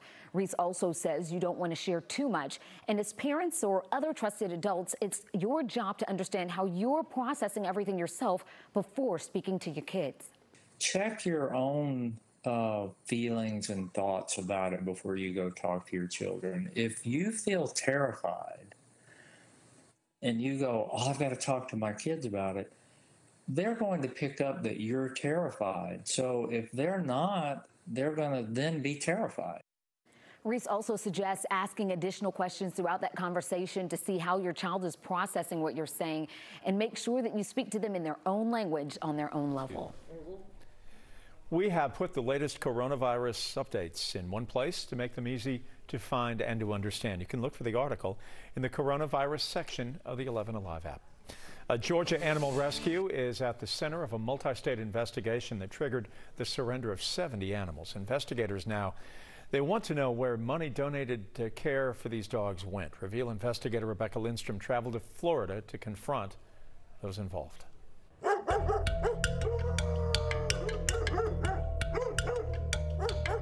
A brown terrier mix was certainly in need of rescue after being hit by a car in South Georgia. He had bilateral femur fractures, a fractured pelvis, a ruptured bladder. The animal rescue Dragon Paws rushed to his aid, asking for donations to pay for his care. The dog, later named Highway, was a social media hit. On the mend, Highway went to a medical foster in Florida to finish his recovery. But instead of a clean home with specialized care, this is what Leah Moore found when she walked on property with sheriff's deputies. There were 50 some odd dogs in cages stacked upon one another in their own urine and feces in every room of that house. The same house where they slept. In fact. The Union County Sheriff in Florida called Guardians of Rescue to seize the dogs on this property in early February amid concerns of animal cruelty and neglect. Moore says vet records show Highway's bladder was fixed, but six months later, there is no evidence Dragon Paws ever treated his leg. Literal dead weight.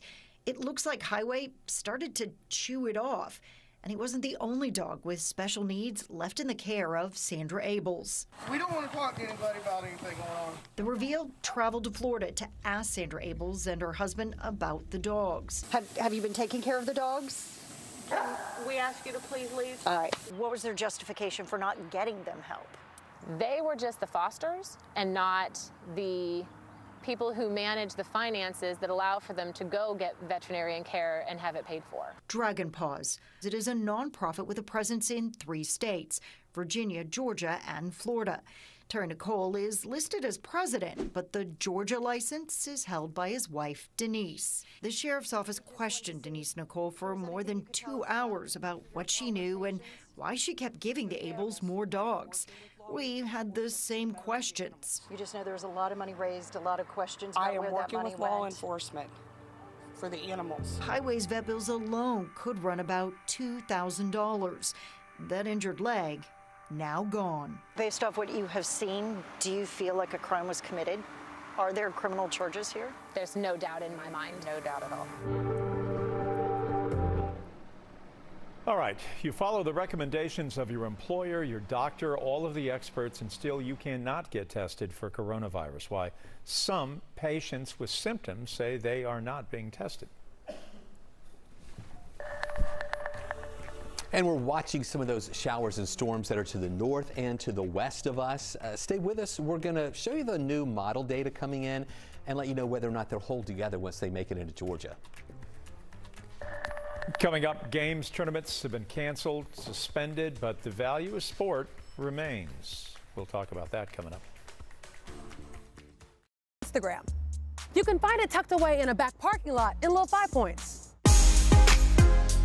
An Atlanta icon, ever changing, always interesting. The Krog Street Tunnel is full of artwork from some pretty eclectic Atlanta artists. All we feel is good vibes. When you vibe with it, it's a good time. We don't worry about the hate, we just pass it to the side. There's graffiti, community messages, concert announcements. You really never know what you're going to get here, and that's what makes it so special. You can find it between Cabbagetown and Inman Park. If you've never checked it out, it's a must-see.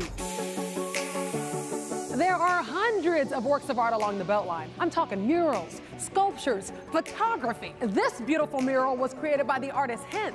It's 100 feet long, and even though it was created in 2014, it still remains very popular to musicians and photographers alike.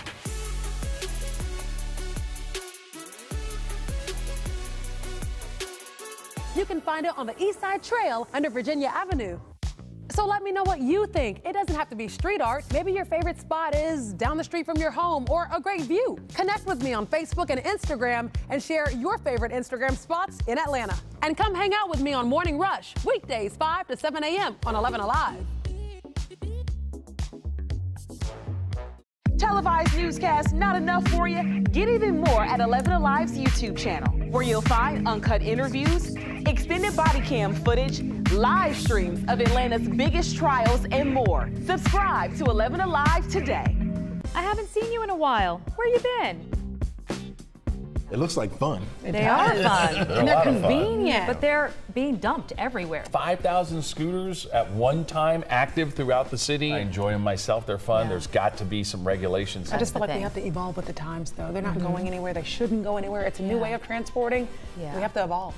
I'm going to be looking for you next time, so use the hashtag and let us know you're hanging out with us. Morning Rush, weekdays, 5 to 7 a.m. You see them all day, every day. Headlines, stats, and numbers, but without context, they're just clickbait. So let's add some perspective. The three most interesting numbers of the day, what they mean, and why they're important. News and numbers on Up Late. What's the best part about Your voice, it is never too loud or too much. Your voice has the power to tell it like it is. Bringing us together to act. Together, our voices grow. Together, we come alive, amplifying voices and breaking down barriers to change the story and shape the future. Together, we are unstoppable. Together, we are where Atlanta speaks. Remember the old days, the old cliffhangers when we used to watch shows and they cliffhangers. Would, you know, they yeah. would wait the next week. You're oh, what's going to happen to the six million dollar man? He was hanging with his one bionic arm. Morning Rush, weekdays 5 to 7 a.m. Only on 11 Alive. Atlanta. Almost 6 million people call the Metro home. But what makes this place so great? I'm 11 Alive's Chesley McNeil. I'm going to give you three reasons why Atlanta is the best city in America. Come on, man. It's the heart of the South. And it's one of the most diverse cities around. People from all walks of life have come here and made it home. From different backgrounds, languages, and religions. And who can forget about the food? They all make this a cultural melting pot, full of great people and Southern hospitality. Where are the tests? The federal government says millions of coronavirus tests are available in Georgia. More are coming next week, but we are hearing from those people with symptoms who say they cannot get tested. And we are dedicating an entire team of investigative journalists to this issue as part of our commitment helping with facts, not fear. 11 Alive's chief investigator is Brendan Keefe. He shows us why people who meet the criteria say they cannot get tested. So I call my doctor this morning and it starts this two and a half hour runaround. And the conclusion I have is no one has tests. Cheryl doesn't want us to use her last name, but she does want us to find out why she can't get a coronavirus test. I'm sorry. They told me to call the health department. We talked with Cheryl by FaceTime because she says she has COVID 19 symptoms, including a fever, dry cough, and trouble breathing. She's also in two high risk groups, over 60, with a compromised immune system. Hopefully, I don't have it, but I don't know. If I do have it, I don't want to infect all these people. But with no way to get a test, how do you know? Call your doctor's office if you believe you may have the novel coronavirus. Within hours of that statement, call logs confirm Cheryl called her general practitioner's office, which she says gave her a coronavirus hotline for the hospital physicians group. She says the hotline told her they don't have any tests yet. Cheryl called her county and state health departments, which she says referred her to the CDC in Atlanta. She says the CDC insisted only her general practitioner could order a coronavirus test, so she called back. The doctor's office recommended she call her employer. After two and a half hours on the phone, still no test. It's a vicious cycle. Call here, call here, call here, call here. Everybody's referring you around. I'm calling to see how I could get tested for COVID 19. We called some of the same numbers and got the same answer no testing. When we look at COVID 19, it's gone around the world in about two months. University of Georgia infectious disease expert Dr. Jose Cordero says we should be testing people like Cheryl. And she's already self quarantined because of a suspected case at work. Is that someone you would want to see tested? Well, if we take uh, the recommendations of the current recommendations of CDC, she would qualify for, for testing. Coronavirus is now spreading in communities in the U.S., leading the CDC to allow doctors to order tests based on symptoms alone. But the physicians group hotline we and Cheryl called is still asking about foreign travel as a prerequisite for testing. Testing they say they're not yet set up to do. And the first question out of everybody's mouth is Have you been exposed to someone that's had a positive test? Well, that's craziness because they don't have tests available. The United States now is an affected country. The system where you put it out there in the public and a physician asks for it and you get it. The Okay. idea of anybody getting it easily, the way people in other countries are doing it, we're not set up for that. Do I think we should be? Yes, but we're not. Nations like South Korea are testing tens of thousands of people every day. In two months, the CDC and state health departments are reporting testing only 11,078 samples. That is a failing. And a That- failing, it- yes. it- it is a failing. I mean, let's admit it.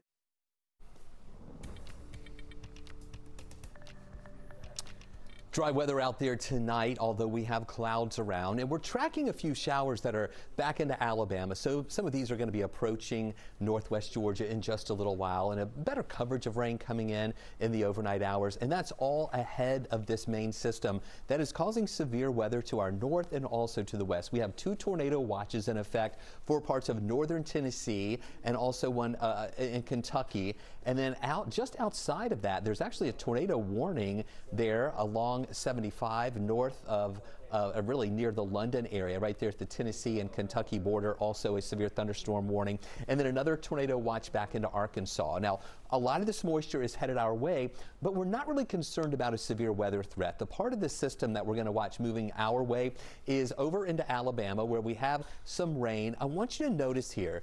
Watch how we had a lot of thunder and lightning coming over the line from uh, parts of Mississippi into western Alabama, right there at the line. And then as it moves this way, a lot of the lightning falls apart. So we're going to continue to see that weakening trend as this moves into Georgia during the overnight hours. But it's still going to bring us some showers, but we're not worried about a severe weather threat here. Temperatures, even though they've been holding in the 70s for much of the evening hours, we've just moved down into the 60s at 69 degrees. We still have lower 70s though in Rome and in Dalton. It's going to be a mild night. Now, as we jump into the weekend, I want you to know Saturday's still not going to be perfect, but it's going to be the best day of the weekend with a mixture of sunshine and clouds, only a 20% chance for a shower, high temperatures near 71. And then on Sunday, the rain chance comes back. We'll have about a 60% chance for showers and high temperatures up to about 68 degrees. But even with that higher rain chance on Sunday, it's not going to be a total washout. There will be some dry hours at times. Here's a look at that moisture coming in overnight and into the morning. You can see the showers at 7 o'clock in North Georgia and in West Georgia. That's going to be moving our way. But as it moves to the east and a little bit to the south, we'll see a lot of that rain falling apart. So by lunchtime, a lot of the rain is going to be over. And then by afternoon, really low rain chances on the south side. Mostly cloudy skies here, but we'll have a lot of hours of dry weather for the afternoon. And then on Saturday, it's not going to be, as I mentioned, a perfect day, but only a 20% chance for a shower. I really think most of us will get through the day Saturday with no rain and even some holes in those clouds to let some sunshine come through. And then on Sunday, that rain chance goes back up. So we go from 40% Friday to 20% Saturday, back up to 60% on Sunday, and then down to 40% Monday, back to 60% again on Tuesday. So you see how those rain chances are going to be up and down, as well as the temperatures. We're starting at 71 Friday, upper 60s Saturday and Sunday, then down to the upper 50s Monday, and then warming back up to the mid 60s Tuesday and lower 70s by Wednesday and Thursday, when we'll see those rain chances for the middle of next week at about 30 to 40%.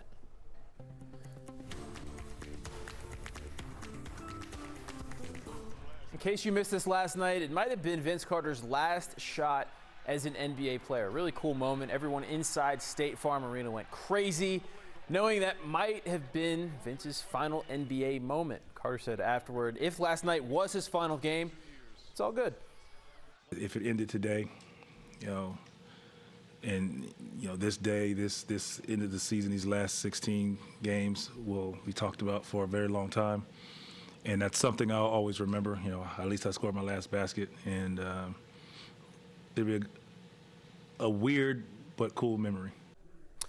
It's been the most surreal 24 hours of sports I've ever seen. The entire sports world has been turned upside down because of the coronavirus. The NBA, Major League Baseball, NHL, and Major League Soccer have all suspended their seasons. March Madness has been canceled. There won't be a Frozen Four, no College World Series. And as of right now, NASCAR is having its next two races, including the races this weekend at Atlanta Motor Speedway without fans. And the PGA Tour just announced a few minutes ago they've canceled the Players' Championship in all events through the Texas Open. The Masters is the week after the Texas Open. Still no word from Augusta National on that event. Now, I'm not going to lie to you guys. I'm sad. I love sports. But what's going on in the world right now is serious, and suspending play is the right thing to do. If giving up sports for a little while will help get the virus spread under control, then I'm all for it, and you should be too. No game or tournament is worth potentially spreading this virus. So, no live sports for a while. You could watch some movies, could read a book, or you could hear me out. Hear me out now. You could spend some time with your family. I know it's a novel concept, but we'll continue to have sports segments on this station. I'm not going to lie to you, I don't really know what that's going to look like, but we're going to have it. And we will dedicate that time to continue to show the power of sports. It's a power that becomes even more apparent when times are tough and things seem uncertain. But even without games, there's still plenty to talk about. Like, where's Brady going to land? Where, where the Braves World Series caliber roster? Can the Atlanta United continue to play well without Josef Martinez? I mean, the list goes on. Do, who should the Falcons draft? Stuff like that. It seems insignificant right now, but sports will go on here, and sports around the world will eventually return. But for now, let's help out one another, and let's be smart, let's be safe, and wash your hands. We'll be right back. Oh, wait, no, we got one more thing. One final note. Leagues closing their doors affects uh, obviously our entertainment, but it also affects a lot of hardworking people that work inside the arenas. Dallas Mavericks owner Mark Cuban quickly said last night that he's going to come up with a plan to make sure that his employees at American Airlines Center are taken care of. And tonight, Hawks owner Tony Ressler followed Cuban's lead. He too will implement a program to make sure State Farm Arena employees are compensated for the games they would be working if the season were to continue. It's pretty cool. Now we'll be right back. All fought in the struggle for equal rights right here. Businesses on Sweet Auburn Avenue, local black churches, and college students from Atlanta all help shape the future of America. Once an Olympic city, Atlanta's home to the best sports scene across the nation. Hey, look, the South has something to say. You won't find more passionate fans anywhere. From the Atlanta Braves home run king, my man Hank Aaron, to the human highlight film Hawks Dominique Wilkins, some of the greatest athletes have come through Atlanta. We're talking the Falcons, the Braves, the Hawks, the MLS champs, Atlanta United. This city has something for every kind of sports fan. So what do you think? Is Atlanta the best city in America? Connect with us. Use Facebook or Instagram and tell us why this city's got it going on. And then watch us every weekday morning from 5 to 7 on the Morning Rush on 11 Alive.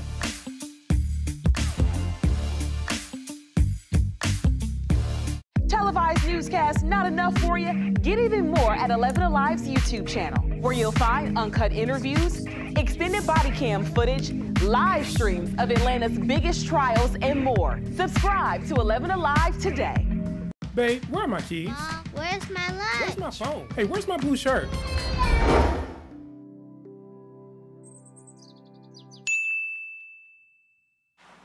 Where's my pen? Have you seen it? Everybody has learned how to drive, so I'm going to go ahead and retire. It didn't last long. Crank up your morning rush with Crash Clark. Weekdays, 5 to 7 a.m. on 11 Alive. Traffic brought to you by John Foy and Associates. I woke up at 2 in the morning to be here. Where were you? Once you allow it, right, then it sets you up for the entire week where you just have lost it. Like on a, on a Sunday, it's like, oh, let's just order some Chinese food, and of course you wind up eating tons of that. And then on Monday, you're like, well, I got leftovers, I can't let it go to oh, waste. Auntie wants to give you a plate to take home from the barbecue. Auntie. Auntie, don't invite me to the barbecue. I'm gonna be looking for you next time, so use the hashtag and let us know you're hanging out with us. Morning Rush, weekdays, 5 to 7 a.m., only on 11 Alive. The 11 Alive app is your go to source for all things Atlanta. You hear what happened today? I'll tell you all about it. Breaking news the moment it happens. The boil water advisory. Hyper local, accurate weather alert. You may want to grab that sweater, maybe even a coat. More stories to uncover. More videos to discover. He did it his way. Personalized for you. And that's what makes it so special. The 11 Alive app. Available now in the App Store.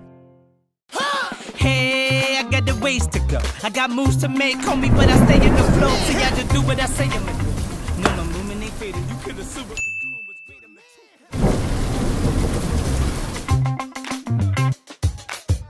Oh, and so I was saying, there is always something filming here in Atlanta, from movies to TV shows, you name it. And so the A scene keeps up with all of it for you. Casting calls, which big celebrities are in town, what's filming, and if it's in your neighborhood. It's like an inside scoop. Oh, nice. We're going to see uh, the rain chances going up overnight and really toward tomorrow morning, and then they'll taper off in the afternoon. Highs near 71. Saturday looks like a pretty good day. We're going to have more clouds than sun, only a 20% chance for a shower. I really think most of us will get through the day Saturday with no rain at all. And then Sunday, the rain chances come back to 60%. They're up and down next week to 40% Monday, 60% again on Tuesday, and then back to 30 to 40% on Wednesday and Thursday. Temperatures also kind of up and down. We're in the lower 70s Friday, upper 60s Saturday and Sunday, upper 50s Monday, so a little cooler before it warms up again for Tuesday, Wednesday, and Thursday. All right, Chris, that's about it. Nothing else to say, really. Yeah, that's right. It hadn't been a busy day at all. Oh, no. Oh, my goodness. 11alive.com, all of the information you need to know about coronavirus. And of course, we have you covered right here. Thanks for watching. Have a great night. See you tomorrow. For you, get even more at 11 Alive's YouTube channel, where you'll find uncut interviews, extended body cam footage, live streams of Atlanta's biggest trials, and more. Subscribe to 11 Alive today. You didn't get my text? The whole crew got together for coffee this morning. I'm, I'm learning the taste of water because I'm, I'm sugary. Oh, okay. yeah, right, right. about I mean, that? well, reward would be Slimming down. Okay. Yes. Right, yeah, okay. yeah, a little water in my cup. And and beautiful skin. Well, you know, even too. more beautiful skin. You know, when it's all hydrated and everything else. I'm not gonna be able to sit next to you in a few months. Don't drink your morning coffee alone. Have it with us. Morning Rush, weekdays, 5 to 7 a.m. Only on 11 Alive. Some mornings, what you want isn't what you have time for. And that's why there's the Rush Block, the biggest news of the day in five minutes or less. Quick and convenient for all those hectic mornings. Catch the Rush Block on the Morning Rush. Everybody has learned how to drive, so I'm going to go ahead and retire. It didn't last long. Crank up your morning rush with Crash Clark. Weekdays, 5 to 7 a.m. on 11 Alive. Traffic brought to you by John Foy and Associates. Atlanta is filled with great photo spots. And of course, I would know because this is my hometown. I'm 11 Alive's Francesca Amiker, and I'm about to show you my picks for the three best Instagram spots in Atlanta. The OutKast mural is one of Atlanta's newest hotspots. Created by the artist Jekk, people flock from all over the world just to get a shot of these two hip hop legends.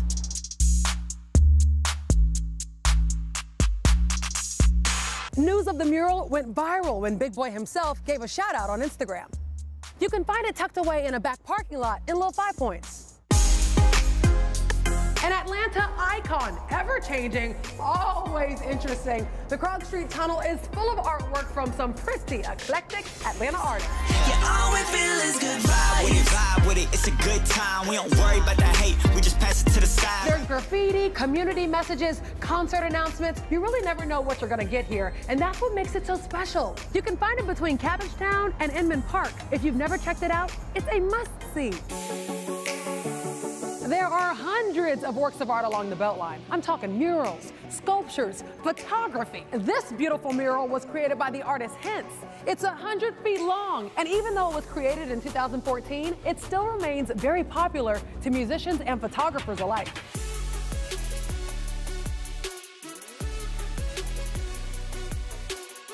You can find it on the East Side Trail under Virginia Avenue.